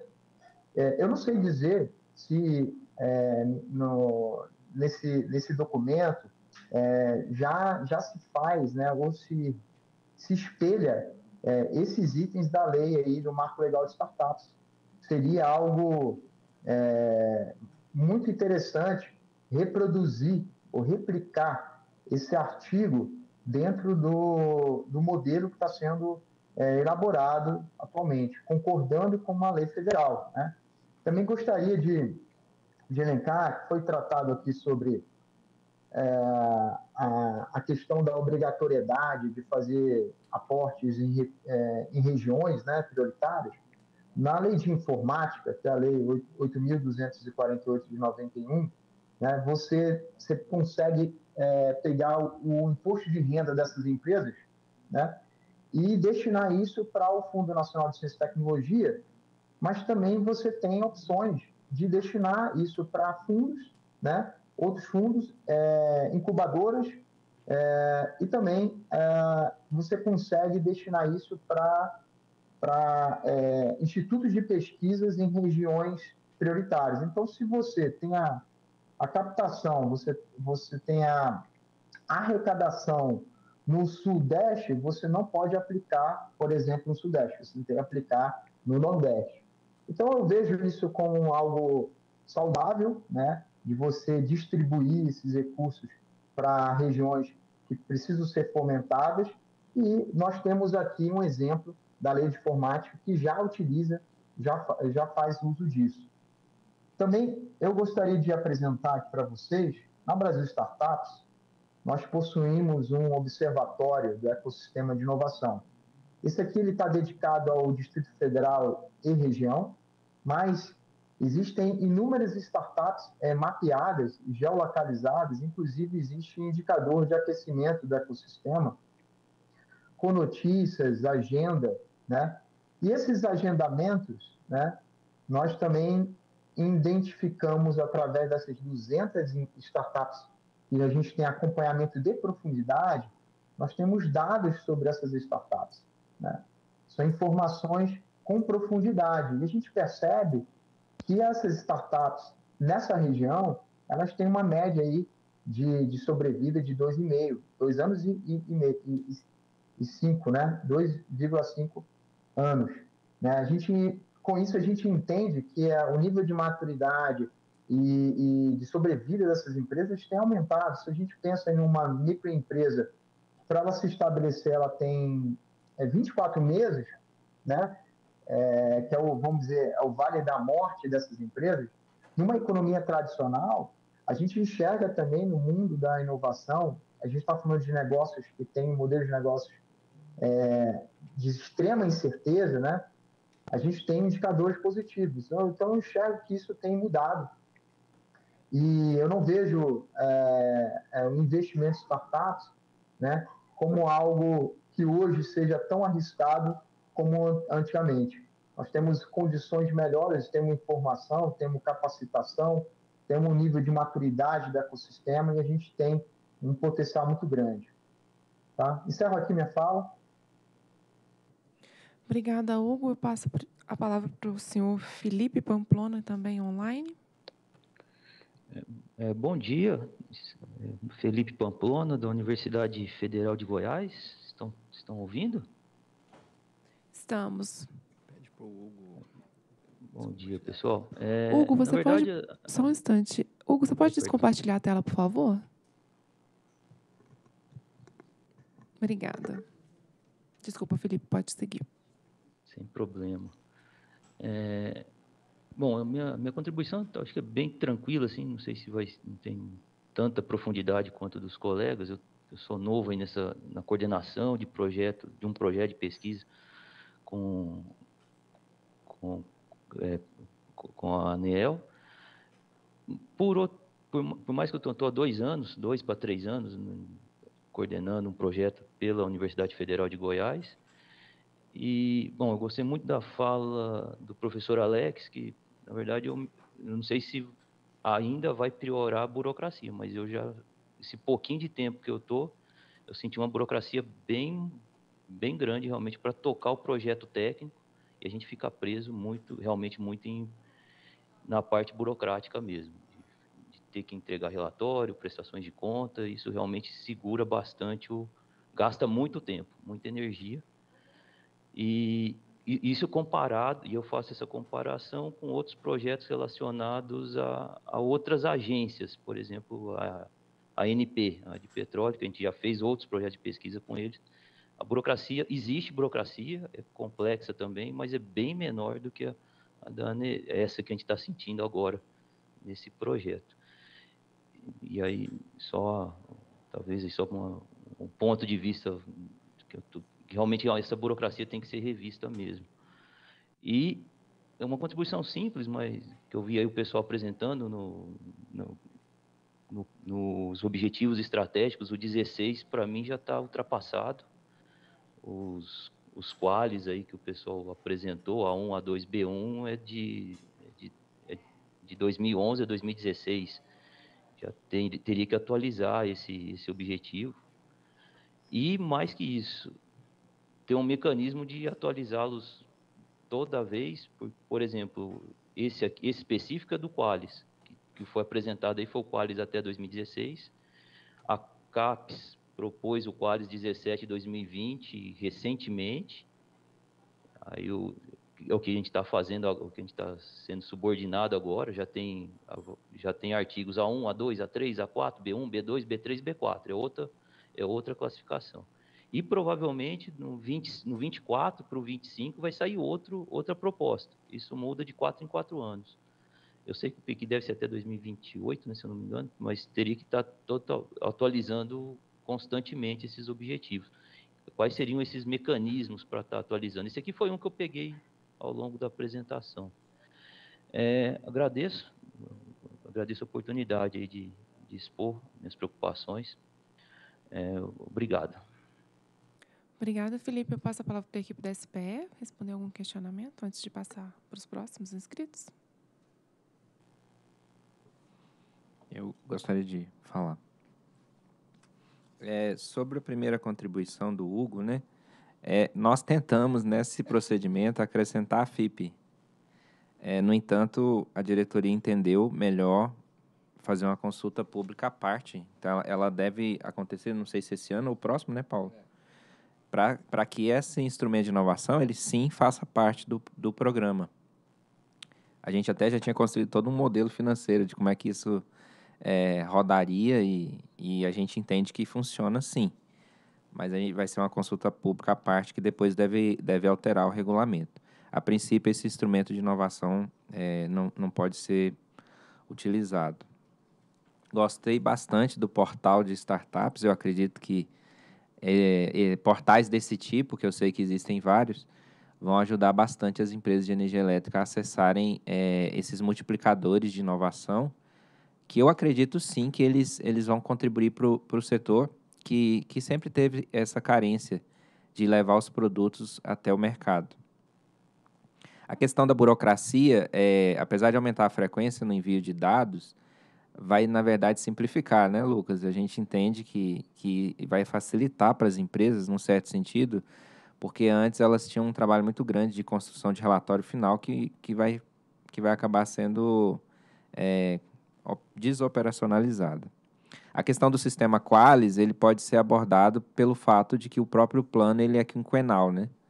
No próximo plano, se a gente entender que mudaram as métricas, a gente muda esse É, indicador. Na, né? na verdade, acho que a sugestão é inserir, atualizar o Qualis à parte. Porque Isso. ele pode não ter sincronia com o quinquenal. É, Então, esse ponto eu acho que é muito válido a observação. tá, tá anotado aqui.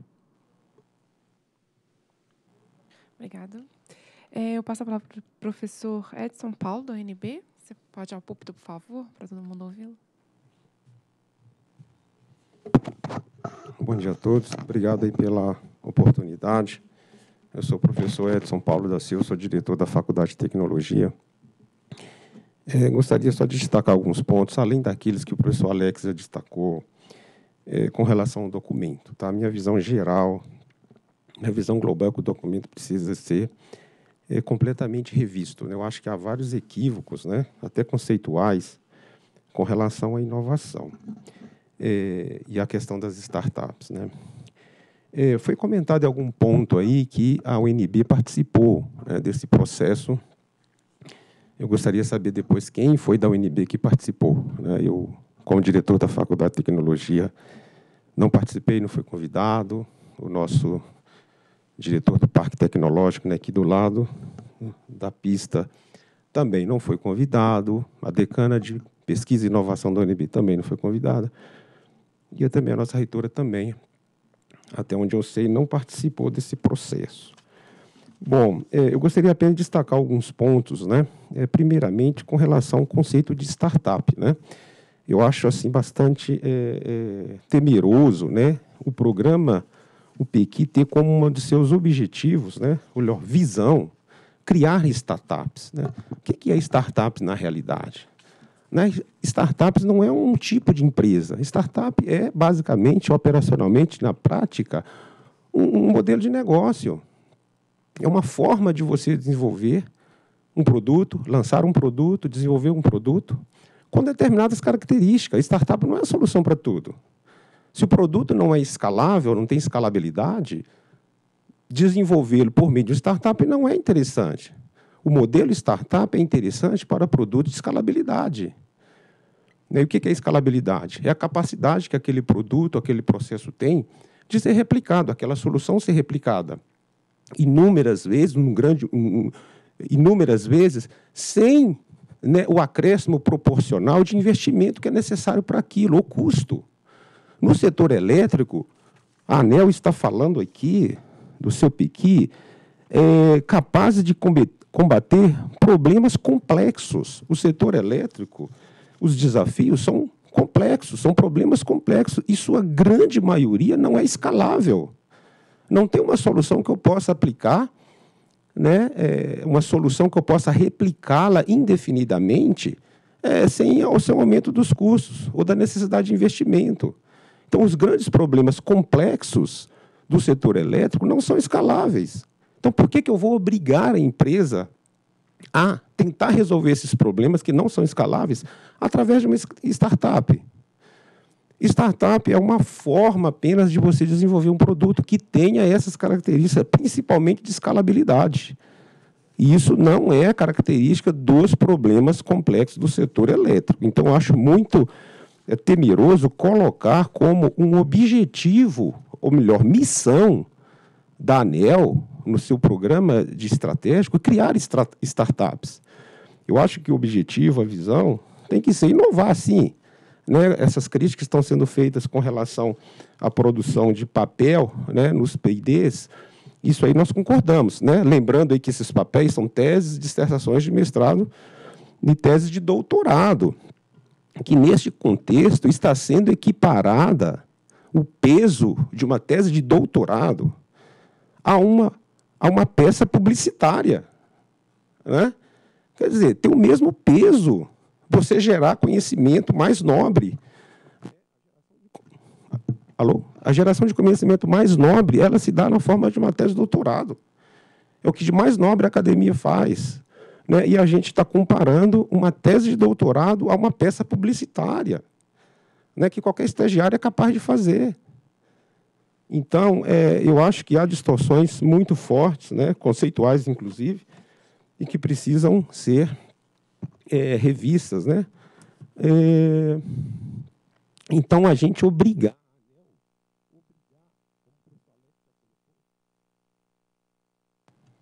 Tá. A ANEL obrigar as empresas a investir 50% dos seus recursos em startups, estamos tirando esse 50% de onde eles estão sendo aplicados hoje, que é, na, que é nas universidades. Né? Porque as startups não necessariamente elas estão vinculadas às universidades. Né? Hoje nós temos no, no, no, no DF o, o Biotic, né? que foi criado com o objetivo de inovar. Né? Não está acontecendo nada, porque só tem o prédio. O cérebro, o cérebro, estão onde? Na universidade. Né? Eles não estão na startup. Né? Eu recebo quase que cotidianamente startups não vinculadas à universidade buscando apoio, proximidade com os grupos de pesquisa para desenvolver as suas ideias. Né? Então, não existe no Brasil, pelo menos, eu acredito numa parte do mundo, iniciativas de, sejam elas setoriais, né, como é o caso da CNI, por exemplo, setor industrial, ou é, é, em nível governamental, seja ele de cidade, estado ou, ou, ou a União, iniciativas de, é, é que visam né, a, a melhoria da, do grau de inovação, que tenha tido sucesso sem ser uma parceria muito forte com a universidade. No caso, da, do, no caso do setor é, é, industrial brasileiro, por exemplo, o Sistema S. O Sistema S tem duas grandes iniciativas para a melhoria da inovação no setor produtivo brasileiro. São as unidades Embrapi e os centros de inovação do Senai. O, centro de, o, o, o Senai tem 80 centros de inovação. Dentre eles, os principais, os mais que estão dando mais certo, são todos eles, a grande maioria deles, vinculados às universidades, muito próximos às universidades. Né? É, é, é, o principal destaque né, dentre esses centros de inovação é o Cimatec lá na Bahia. O Cimatec existe, é um centro de inovação do Senai na área de metal mecânico, né, de manufatura, dentro de uma escola. O Cimatec é uma escola do Senai. Né? E o principal centro de inovação, que é o Simantec, está dentro de uma escola. As unidades Embrapi, né, que é outra iniciativa também para, para, para, para, para o Brasil avançar na questão da inovação são as unidades Embrapi. As principais, nosso colega da UFG falou, eles têm três unidades Embrapi lá, todas elas vinculadas à universidade. É? Então, aí vocês propõem retirar o recurso que hoje é investido na universidade, né, nos grupos de pesquisa, é, é, para formar né, mestres e doutores, alunos de graduação, que geram inovação. Né? É, é, é, tirar esse recurso daí e colocar em startups. Né? Mas o que, que essas startups vão fazer? Né? Eu acho que se, né, para quem entende da área de inovação, se, se, se a ANEL, por exemplo, investir nos seus critérios, valorizar a criação de spin-offs, né, aí sim talvez seria uma coisa interessante. Spin-offs que podem nascer né, de diferentes é, é, negócios que já existem e até mesmo de projetos de pesquisa no setor aeroespacial, no setor de petróleo e gás fora do Brasil, é muito comum a geração de spin-offs, que são empresas que nascem, negócios que nascem dos projetos de pesquisa, desenvolvimento e inovação. E muitas vezes nem relacionado ao objetivo daquele projeto específico, é, é, é, é que gera aquela ideia inovadora e que então sai dali e vai se transformar num spin-off que pode ser, pode, dependendo da natureza daquela, daquela solução, ser materializada, ser concretizada na forma de startup, mas não necessariamente. Depende das características daquele produto, daquela solução. Ou seja, startup não é a solução para tudo. Né? Inovar não significa fazer as coisas via startup. Porque nem toda inovação é, essencialmente ou principalmente, escalável. E no setor, petróleo, no setor de petróleo e gás, no setor elétrico, que é o caso aqui, muito menos. A grande maioria dos problemas complexos, né, que o P&D da ANEL pretende solucionar. Está escrito aqui. O objetivo é solucionar, combater problemas complexos. Grande maioria não são escaláveis.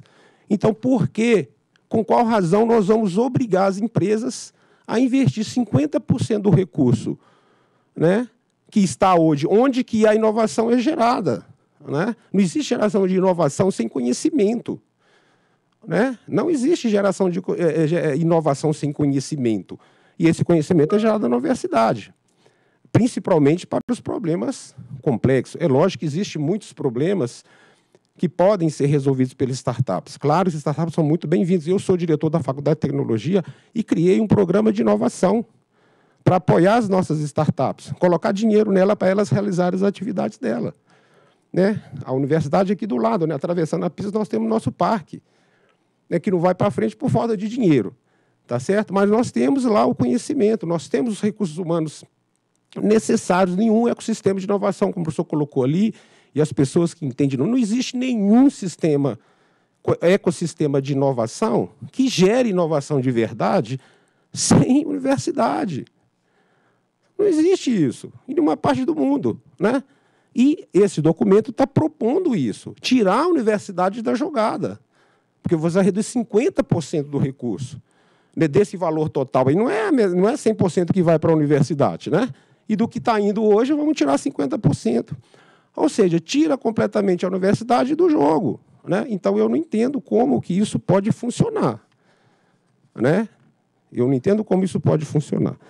Tá? Então, assim, a minha sugestão, né, é a minha opinião, é que esse documento precisa ser completamente revisto. Tá? Eu destaquei alguns pontos, existem vários outros, né, o professor Alex ele não pôde apresentar tudo, né, mas no documento que a gente vai protocolar lá no formulário, né, está trazendo todas essas esses problemas e as sugestões, né, claro, é, para a gente aprimorar esse tão importante planejamento estratégico. É uma iniciativa muito positiva né, da diretoria né, fazer esse planejamento estratégico. Isso é uma coisa muito importante, vocês estão de parabéns, mas eu acho que o, o, o a forma né, pela qual a gente está pensando em, o ANEL está pensando em fomentar, em estimular a inovação, eu acho que isso é é, é, é bastante complicado. Nós temos na Universidade de Brasília vários laboratórios que são TLR 9, 8, 7 e que foram construídos com recursos do PDI,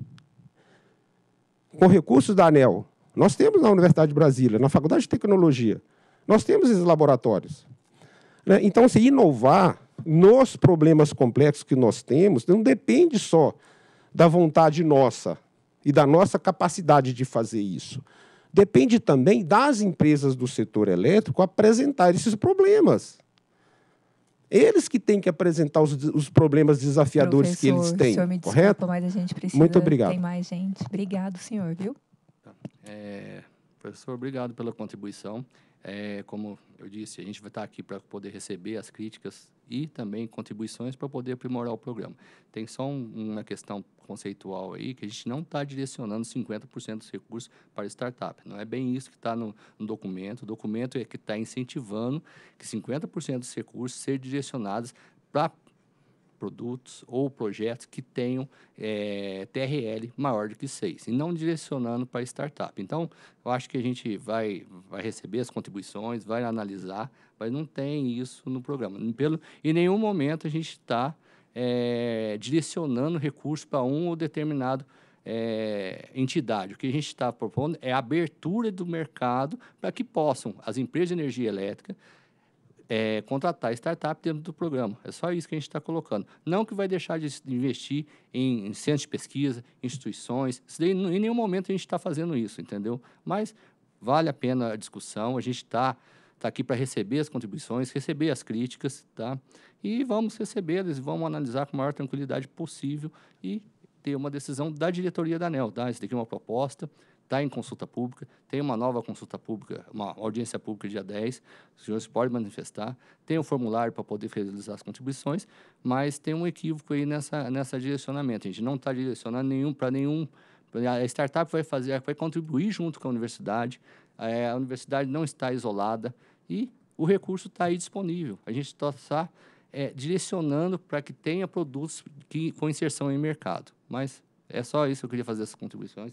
É, Lucas. é só, só um ponto da, do spin-off, né? Que eu acho que o conceito de spin-off, eu acho que é, se puder fazer uma contribuição para a gente é, adicionar ele, eu acho que é bem relevante que, da forma como o senhor falou, eu acho que estaria dentro do que é desejável para o, o, o novo regulamento, esse conceito, e se o texto não está claro que isso está permitido, a gente gostaria que o senhor colocasse uma contribuição que acho que é muito válido realmente. Bom, obrigada, Paulo, Lucas e professor Edson. Eu chamo ao púlpito agora o professor José Alexander de novo, por favor. Gente, eu só vou fazer um pedido para vocês tentarem ficar dentro do tempo, para a gente não avançar muito, que já tem mais quatro pessoas inscritas.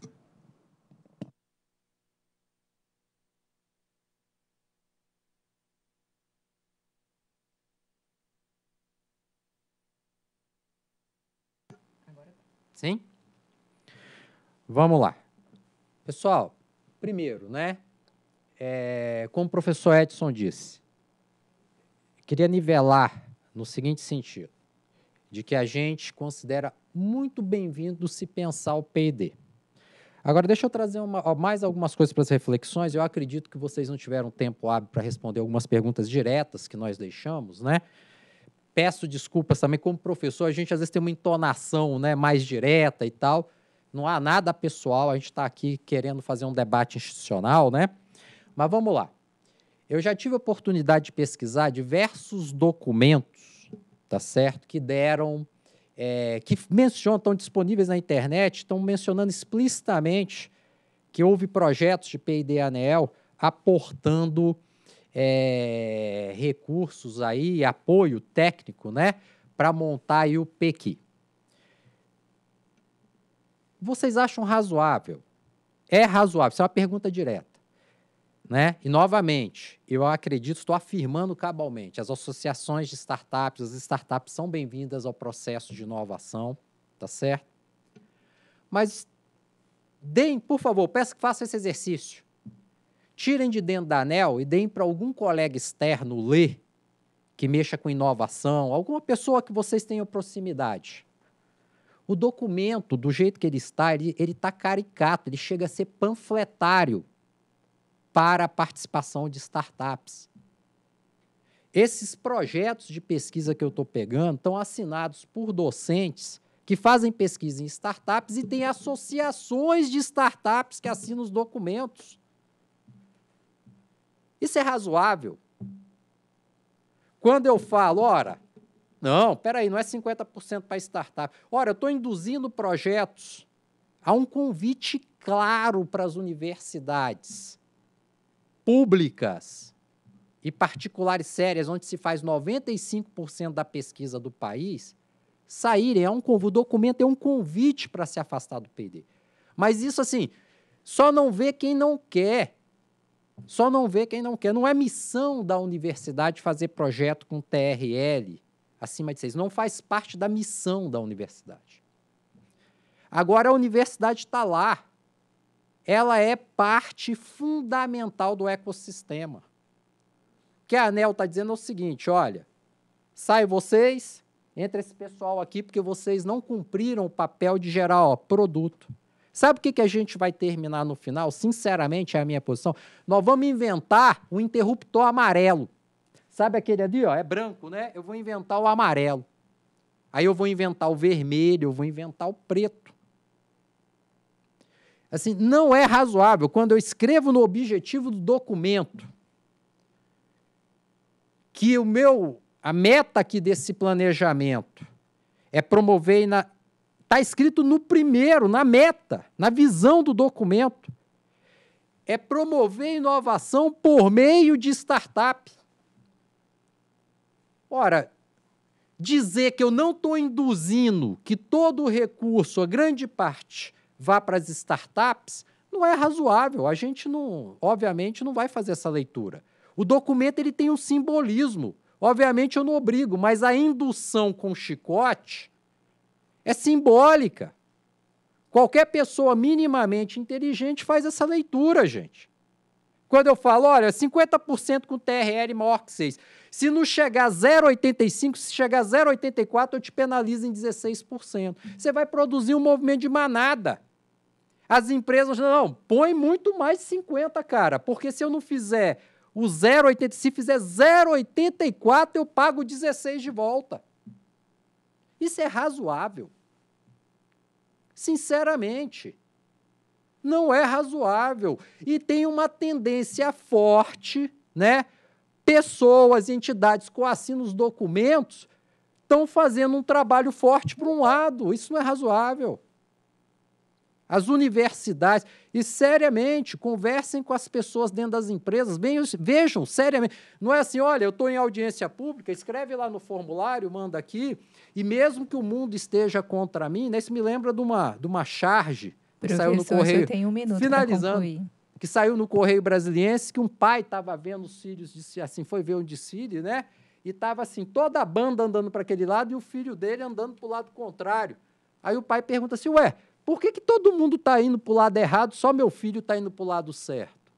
Eu deixo isso aí para a gente refletir, mas algumas perguntas eu gostaria que houvesse uma resposta mais direta. A gente botou questionamentos assim, bastante concretos, de maneira respeitosa, firme, mas respeitosas. Né? E eu agradeceria se houvesse uma resposta. Professor, é, o objetivo é ter as informações para poder aprimorar o documento. É isso que a gente está fazendo aqui. E as respostas vão estar, tá, na hora que você formalizar a questão e trazer os argumentos, a gente vai formalizar a resposta e vai estar tá disponível também entendeu? Acho que a razoabilidade ou não é uma questão da gente analisar a contribuição que o senhor vai fazer, a gente vai analisar e ter a resposta mais adequada, ou até aprimoramento do documento, se for o caso, se estiver realmente consolidado, que, que a gente está fazendo, está num caminho assim que não está adequado, a gente vai rever o documento. Acho que isso daí não é o problema, não. Então, o objetivo da, consulta pública é justamente esse, ouvir todos os stakeholders do processo. A gente está fazendo isso, a gente está abrindo para todos, todos os participantes e vamos, vamos na, na hora que chegar a contribuição, a gente vai ter a análise adequada da, da contribuição, ok?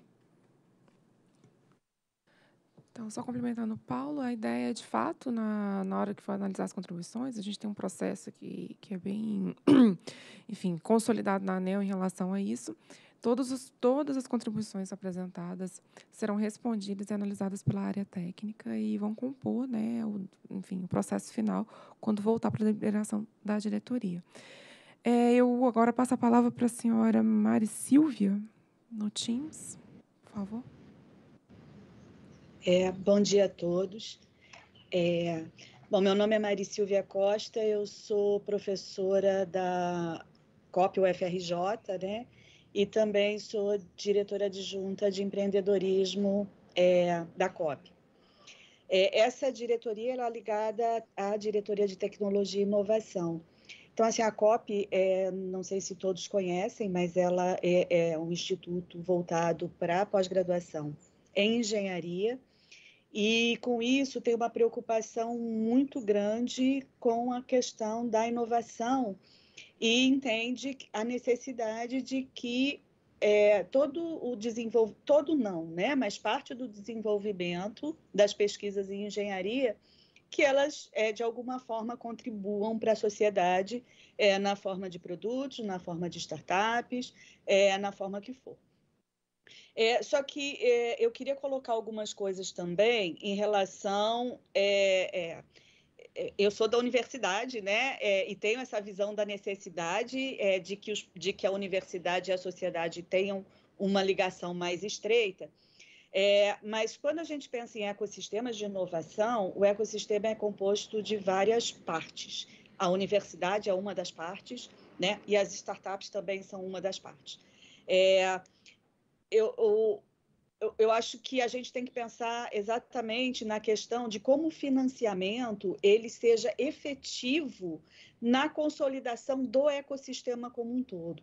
Né? Se, se os recursos são direcionados para um ou para outro lado, é, uma parte do ecossistema não vai funcionar corretamente. Então, eu acho que isso é uma, uma coisa bastante importante é, de ter em mente. E para a gente avaliar isso é a questão dos índices, que são é uma outra é uma outra questão que me preocupa muito, um pouco é, na fala do que o professor Alexander falou, né? Quando a gente coloca índices é, e você chega próximo a um índice e você tem que fazer alguma coisa para atingir o índice, porque isso vai te custar, vai ser, você vai ser penalizado de alguma forma, isso acaba induzindo algumas ações que não necessariamente eram o objetivo primordial é, do documento. É, então, assim, é, é, esse, esse processo ele tem que ser feito de uma forma muito cuidadosa para que o objetivo final seja atingido. Então, se ele é desbalanceado, é, é, e o, o, objetivo final, eu acho que pode ser seriamente comprometido, né? É, a nossa experiência lá na COP, a gente tem um ecossistema de inovação, a gente tem a pesquisa e desenvolvimento também para a área elétrica, é, engenharia em vários, em vários aspectos, mas assim uma contribuição muito forte na área elétrica. É, e a gente tem, é, dentro do no, nosso ecossistema, a incubadora de empresas. E a gente vê é, que para o sucesso das empresas da incubadora, para que elas deixem de ser startups, que elas eventualmente saiam da incubadora e que elas se tornem empresas é, consolidadas, elas têm que estar constantemente em evolução com a tecnologia, e isso elas conseguem dentro da universidade com apoio de laboratórios, e elas precisam de infraestrutura, é, uma infraestrutura extremamente cara e que elas não têm capacidade de sustentar. Né? E que também isso significa que elas têm que voltar para dentro da universidade e utilizar os laboratórios. Então, assim, é, esse financiamento é, ele tem que ser equilibrado na, na estrutura toda é, do ecossistema. Então, eu acho que é muito importante a gente ter a contribuição é, é, para a elaboração desse documento, uma visão equilibrada de todas as partes desse ecossistema. Né? É, um outro ponto que eu queria colocar, e já foi citado é, por alguém que eu não me lembro quem, me desculpe, é que a inovação ela requer agilidade e ela requer é, que é, não é só agilidade ou, ou, na questão dos relatórios, etc. É agilidade é, na, na compra de produtos, na, é, no gasto, né? na, na, na, na necessidade de você é, é, modificar. Você pensou, no, você fez um projeto, pensou em alguma coisa e isso tem que ser ajustado constantemente, porque é um, uma evolução de tecnologia. E essa agilidade não existe. A gente tem é, uma experiência muito grande com a ANP, a gente faz projetos da ANP é, na COP, acho que é o nosso maior, uma, o nosso maior parceiro, né? São as empresas é, de petróleo, e gás e agora energia. A gente tem uma parte da, da, de recursos que são, vem de fundos da ANEL, mas assim, esse, essa, esse aspecto, ele trava muito esses desenvolvimentos é, e, e, e, eu acho que é importante ser pensado. Eu já estou terminando, sim. É, e uma outra coisa que eu acho importante é que no documento, finalizando, né, meu último ponto, é, quando a gente é, vê o documento, o estudo que a ANEL é, publicou, ele leva o nome de várias universidades, e inclusive da COP também. É, só que a Diretoria de Tecnologia e Inovação é, não, não participou desse, desse, desse desenvolvimento. E eu acho que seria importante incluir é, as, as diretorias de tecnologia e inovação das diferentes universidades. É isso. Obrigada. Obrigada, professora. Tá. Eu vou passar a palavra para o Guilherme Cardim, aqui presencialmente, por favor. E aí, se alguém tiver mais querendo se inscrever, por favor, apresenta aqui essa inscrição, porque a gente já tem ainda mais dois para não ficar avançar o horário. Joia. Serei breve, é mais, na verdade, um, um complemento em relação à fala anterior. É, e também não posso deixar de comentar, acho que eu concordo com o professor Edson com a questão das spin-offs, né? Eu acho que talvez o objetivo final é que, independente de startup ou não, que dos projetos surjam empresas que levem aquele produto para o mercado. E nesse sentido, é, eu sugeriria, é, a superintendência da ANEL, que considere, eu não discordo do, do KR, do quantidade de startups né, que estão participando do programa e até de dispêndios com startups, mas talvez um KR também relacionado à quantidade de licenciamentos de tecnologia, porque essas tecnologias desenvolvidas, por exemplo, um instituto como o IAT, ele pode desenvolver uma tecnologia que desse projeto pode sair uma empresa, uma startup ou não. Esse spin-off que a gente está comentando é um caminho para se chegar ao mercado, mas um outro caminho é eu licenciar essa patente, né, para um fabricante, uma indústria que já está no mercado e colocar também do mesmo jeito o produto no mercado. Então, o KR talvez de quantidade de licenciamentos pode também nos dar um, uma visão muito clara se a gente está chegando ou não ao objetivo. E me permitam também complementar, eu comentei do Ampere, talvez como um grande, uma grande ferramenta que a ANEL pode ter para que as empresas cumpram aquela obrigação do, do mínimo de investimento em instituições de Norte, Nordeste e Centro-Oeste. Eu complemento dizendo que o Ampere também pode ser uma grande ferramenta para que as empresas cumpram o investimento obrigatório em si, né? nem na Norte, Nordeste e Centro-Oeste. A gente viu na, na, nas contribuições da MP 998, naquele processo, o quanto de recursos que estava realmente acumulado nas contas de PID.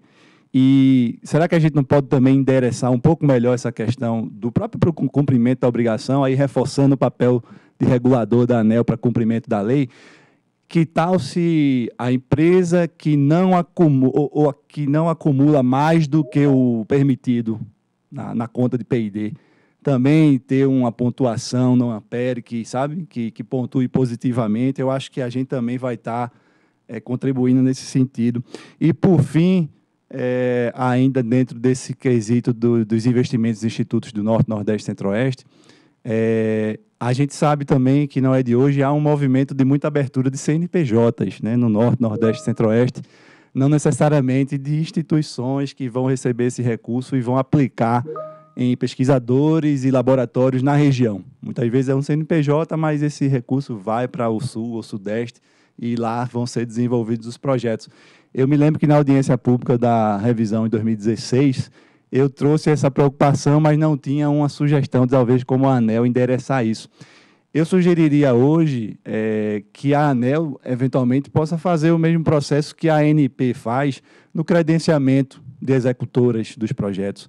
É, esse credenciamento pode ser um credenciamento simples, mas aquele CNPJ teria que comprovar que tem equipe, que tem estrutura, que tem, né, é, é na, na localidade onde ela disse ser sediada, a estrutura mínima para se credenciar. Então, poderia ser um, uma forma de evitar a abertura de CNPJs e aí o, o, objetivo da lei não ser cumprido, né? porque se o recurso volta para outra região, a lei fica é, inválida. Né? E só para finalizar, parabenizar também pela sugestão da criação do Prêmio Anel de Inovação. Eu acho que é uma alegria que realmente tem esse prêmio, que, que as melhores iniciativas possam ser premiadas e receberem esse destaque eu entendi que o prêmio, se vocês puderem também esclarecer, o prêmio seria para as empresas ou para eh, projetos, sabe? Eu acho que caberiam os dois. Se poderiam premiar as melhores empresas do Ampara e talvez um, um, projeto por cada tema estratégico daquele, pegar um projeto de destaque, fazer um tipo de, né, de seleção, de abertura de propostas e cada tema estratégico ter um projeto premiado também seria a minha sugestão. É, obrigado mais uma vez e, e até mais.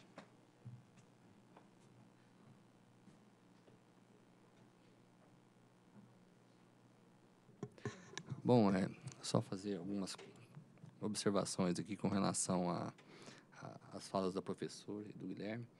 Bom, professora é, Mari Silva, é, eu concordo que a gente tem que equilibrar. Eu acho que o recurso está aí, equilibrar entre todos os agentes. E a gente espera essa contribuição da professora e dos demais participantes desse, dessa consulta pública, que formalize essas contribuições de forma que a gente possa aprimorar o documento. A gente está aqui para poder fazer essas aprimorações, a gente vai receber as contribuições e vai analisá-las para poder aprimorar. E, Guilherme, com relação a, a spin-off, eu acho que a gente possa colocar ela assim, de alguma forma, mas tem que estar tá, tá mais claro para a gente como você vai colocar. Mas é, na, no, no entendimento nosso, deveria, deveria estar claro que a spin-off faz parte desse processo também, tá? Mas a gente pode pensar. Com relação ao Prêmio Anel, a gente vai fazer uma consulta pública da mesma forma para definir é, quais as empresas ou produtos ou como a gente vai fazer esse Prêmio Anel. Ainda não está pronto, a gente está...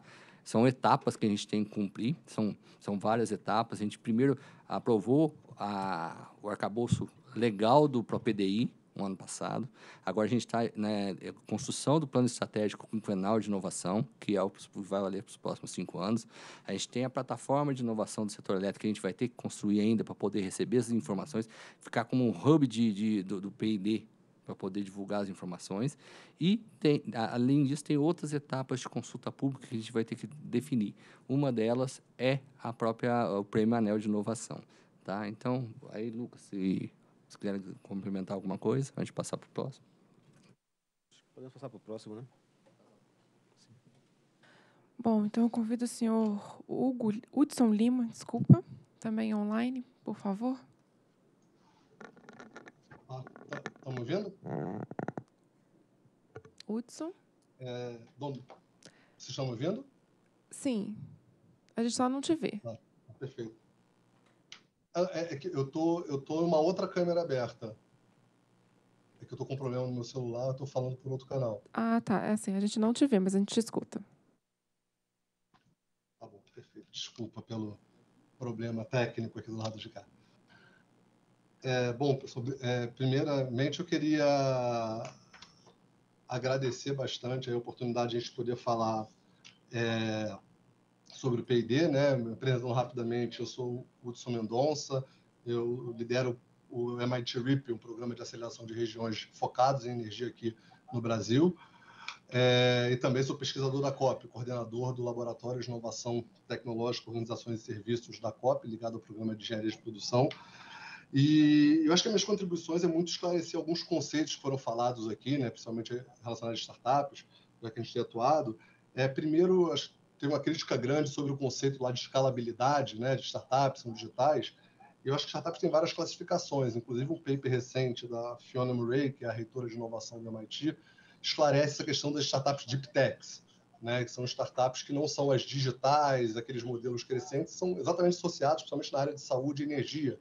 Né, e eu trago aqui o exemplo da Commonwealth Fusion System, que é uma startup do MIT, que recebeu 2 bilhões de investimento, trabalha com fusão nuclear né? então totalmente intimamente ligada a essa área de energia e é uma startup. Então acho que que quando a gente fala, fala essa coisa de startup não vai gerar inovação no setor elétrico, né? Até as digitais vão gerar, né? na parte de modelo de negócios, que eu acho que é um outro ponto que fizeram uma certa confusão, né? De, de falar de disrupção e inovação radical, né? Disrupção ela é uma mudança radical em mercado. Então vão ter várias startups de aplicativos que vão fazer mudanças no setor elétrico, mas disruptando o setor, não fazendo inovação radical, que é essa sim ligada a uma, uma ruptura na trajetória tecnológica. Então, acho que definir esses conceitos, o que é disrupção, o que é tecnologia, o que é startup digital, B2C, o que é startup deep tech, é fundamental para entender todas as aplicações no setor de energia como um todo, né? E aí tem ampla respaldo acadêmico aí nessas diferenciações, e eu acredito que o setor elétrico é passível de disrupções nos dois lados, né? Tanto nas questões de inovações radicais, como fusão nuclear, como captura de carbono, né, como uma série de outras aplicações ligadas ao hardware, a software, a, a, a inteligência artificial, etc., como a parte de modelo de negócio também, né, principalmente com os modelos mais abertos, geração distribuída, etc. É, mostrar em alguma das apresentações anteriores, eu não me lembro exatamente quem, até o framework que a gente usa no MIT, né, que ele expande o conceito de tríplice hélice do Etzkovich, né, de corporações, é, universidades e governo, para também inserir dois novos atores que são fundamentais em todos os setores, né? inclusive na área de saúde, que é tem um ciclo de P&D, investimento em hard tech muito mais longo até do que o setor de energia, né? que incluindo startups e investidores. Então acho que é, é, é muito pertinente a ANEL trazer para essa discussão esses dois stakeholders que evoluem o conceito do Etzkovich de corporações, academia e governo no processo de formação das inovações. Né? Então, acho que é, é, é, é salutar essa, é, é, trazer essa discussão e fortalecer essa discussão, claro, fazendo a ressalva de que né, eu acho que tem um certo receio de vez em quando de uma coisa substituir a outra. não é, eu acho que não é essa a ideia, não é o que a literatura coloca aí de, de mais avançado, né? Você o Vale do Silício não seria o Vale do Silício se não tivesse Stanford e Berkeley, são as universidades chaves lá e outras também. Então, é ser complementar, mas eu acho que hoje, né, e acho que todos os números do P&D mostram aí em retrospectiva que, de fato, está desbalanceado é, com pouca participação de startups e investimentos é, num, num, setor em franca mudança, como é o setor de energia. Né? E eu falo até de maneira mais ampla do que energia elétrica. Né? O setor inteiro está mudando, até empresas de óleo e gás estão entrando né, no setor né, de maneira mais forte, não só aqui no Brasil, mas no mundo inteiro. E a gente fez um estudo de PID Anel, se querer me, alongar, com a EDP em 2017, que a gente fez o um mapa, inclusive, dos é, perfis né, do, do, dos empreendedores é, na, no setor de energia, e de fato são empreendedores muito diferentes, né, do, do digital, que são pessoas novas, com baixa formação. Você vê que no setor de energia, as startups do setor de energia têm um perfil muito de ex-executivos do setor e pesquisadores acadêmicos. E eu tive a oportunidade de conviver no final do, do doutorado, seis meses no MIT, e isso acontecendo na prática. Então, você tem professores do MIT top, que não têm nem doutorado, mas são fundamentais nisso. E é resgatando um pouco do, do papel, né? Acho que o professor José Alexandre falou, né, que a, a não vai acima do TRL6, né? O que eu vi atual, recentemente no MIT foi um pouco diferente disso, né? A universidade tem os três papéis dela, de ensino, pesquisa e extensão, né? E na parte de extensionismo, as universidades estão sim avançando muito, né? Eu estou falando do MIT, eleita a melhor universidade do mundo, né? e boa referência em engenharia, obviamente com, com amplo aspecto da atuação na área de energia, fazendo várias intervenções, professores montando startups junto com alunos, incentivando isso, vários programas incentivando isso dentro da universidade, né? E fazendo com que essas inovações cheguem no mercado mais rápido e de maneira mais estruturada. Então, é até um convite aos pesquisadores, né, que estão atuando nessa área, a, a, a, fazer esses benchmarks né, com as universidades de lá de fora, e em especial o MIT, que eu tive a oportunidade de conhecer bem, é, do que está sendo feito. E eu acho que o que está escrito em linha né, no, no, na proposta do PEC, e aí estou entrando mais na questão conceitual, acho que tem sugestões pontuais que eu não vou me alongar é, aqui, que poderiam ser aperfeiçoadas, melhoradas, mas conceitualmente eu acho que a inserção das startups dentro do PEC é, é, é algo que está fazendo o Brasil entrar na mesma rota que as universidades e que né, os investimentos em energia no mundo estão fazendo. Né? Isso é o que a gente tem visto lá. Né? Na nossa rodada tem o pessoal da Arábia Saudita também. Eu tive a oportunidade de estar em Austin, no Texas, também, que estão muito preocupados com, com essa questão da transição energética. Os países nórdicos né, tem uma missão para a Finlândia que vai mostrar um pouco isso. E, de fato, é o que todo mundo está pensando. Ou seja, como é que você faz né, quase todas as empresas do setor estão montando corporate venture capital, fundos de corporate venture capital, né, empresas do setor, tanto de elétrico quanto de óleo e gás, para poder alavancar exatamente essa cooperação entre o que uma corporação consegue fazer com o que uma startup consegue fazer e com o que é, o, as universidades podem fazer. Então, acho que talvez seja até um convite às universidades a se incluírem mais nessas, nessas multi-stakeholders, nessas pontas multi-stakeholder, para, de fato, a gente junto caminhar para esse modelo e acompanhar o que está acontecendo de mais moderno no mundo. Né? Então, acho que era, era isso, não, queria, não vou me alongar muito mais nos, nos detalhes, não, mas eu queria é, trazer um pouco dessa, dessa contribuição, dessa vivência que eu estou tendo é, aí com, com essa relação com o MIT, principalmente. Bom, muito obrigado, Hudson. Eu passo a palavra para o professor Luiz Carlos, da Unicamp, também online, por favor. Bom, Bom dia a todos, também um Bom prazer dia. participar, muito grato aí pelo, pelo convite. Bom, uh, eu queria trazer mais uma contribuição aí, vindo a partir da, das universidades, no caso aqui da Unicamp, com a nossa percepção, né? Uh, primeiro, assim, o, o, nosso caso da Unicamp, já é bastante comum a gente trabalhar nos projetos uh, através de redes de inovação, com institutos de pesquisa e também startups, por exemplo, o próprio IAT, né, o LACTEC, a gente tem muitos projetos juntos.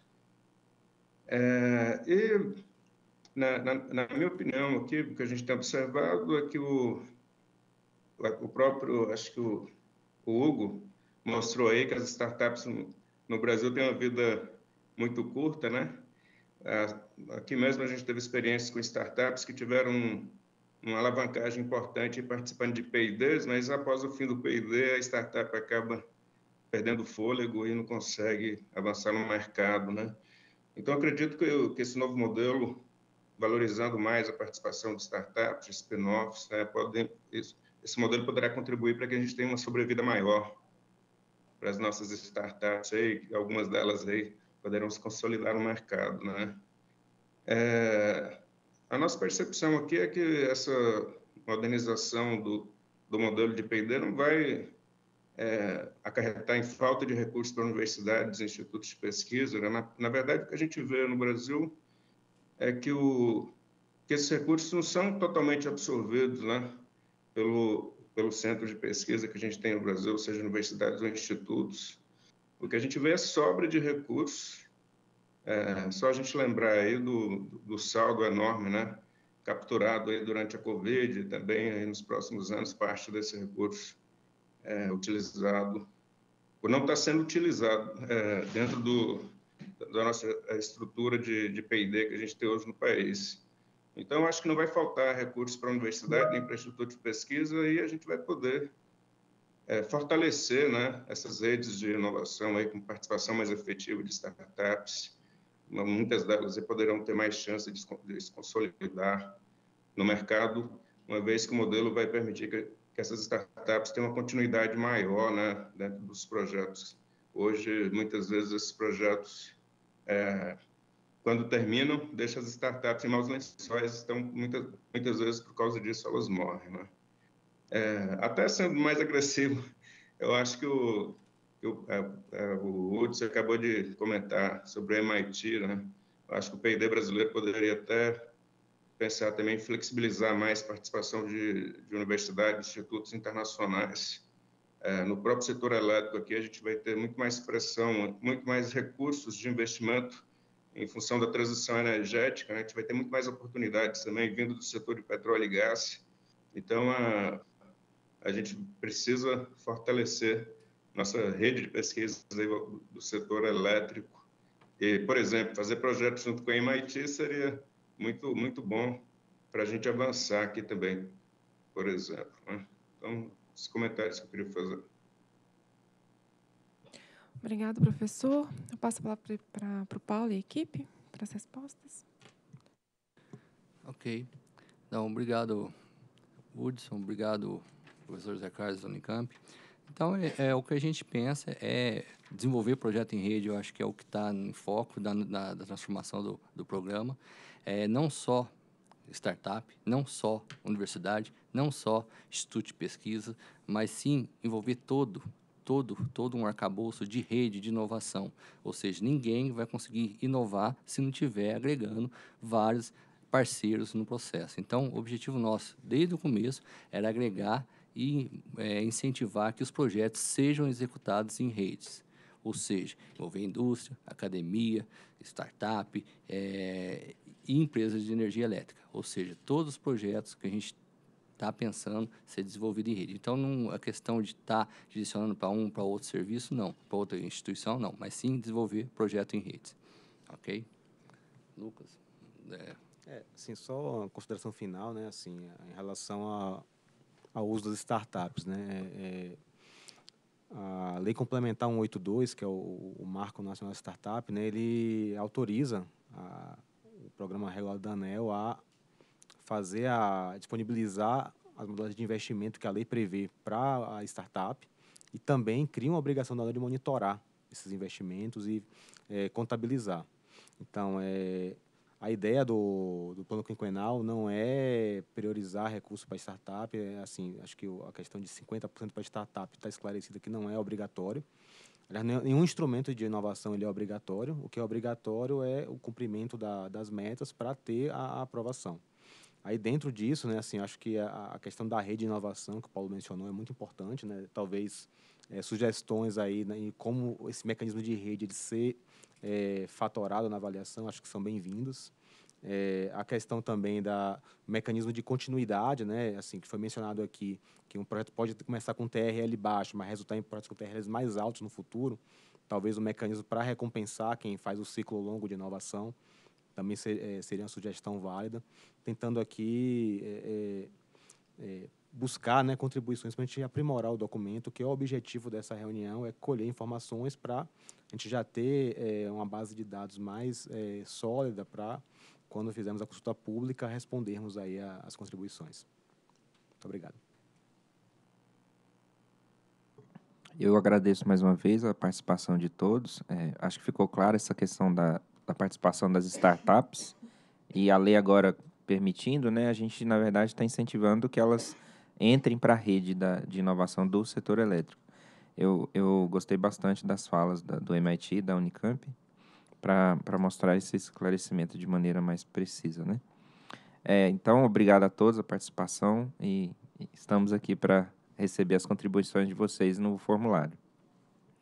Bom, gente, é, eu agradeço a participação de todos. A gente vai fechar um pouquinho atrasado, 15 minutos adiantado, é, atrasado em relação à nossa previsão, mas eu acho que foi muito profícua a participação de todos, tanto online quanto presencial. Então, a gente, eu agradeço em nome do diretor Ricardo, é, o relator desse processo, e em nome da ANEL também, com a presença aqui do, do secretário é, Paulo, que, enfim, a gente tem aqui um processo complexo que vem sendo trabalhado há alguns anos pela equipe técnica da ANEL. É, a gente já avançou bastante no ano passado com a aprovação do PROP, PROPDI, é, por meio da resolução 1045. É, eu acho que a gente tem ainda espaço para avançar, né? E aí, lembrando a todos é, que, além do PEQI, que foi colocado em, em, consulta pública, a gente tem sete pontos trazidos pela diretoria, que a gente é, pede especial atenção dos contribuintes é, para que sejam realizadas contribuições em relação a esses temas. São temáticas muito relevantes para o processo. É, lembro a todos que a consulta pública ainda está é, em vigência até o dia 22 de maio. A gente aguarda a contribuição de todos para enriquecer o processo. E também convido a todos a participar da audiência pública no dia 10 de maio, quarta-feira, aqui na agência, presencialmente ou por meio de vídeo. É, e isso Nesse ponto, eu agradeço a, a participação presencial dos professores aqui e dos demais colegas. E boa tarde.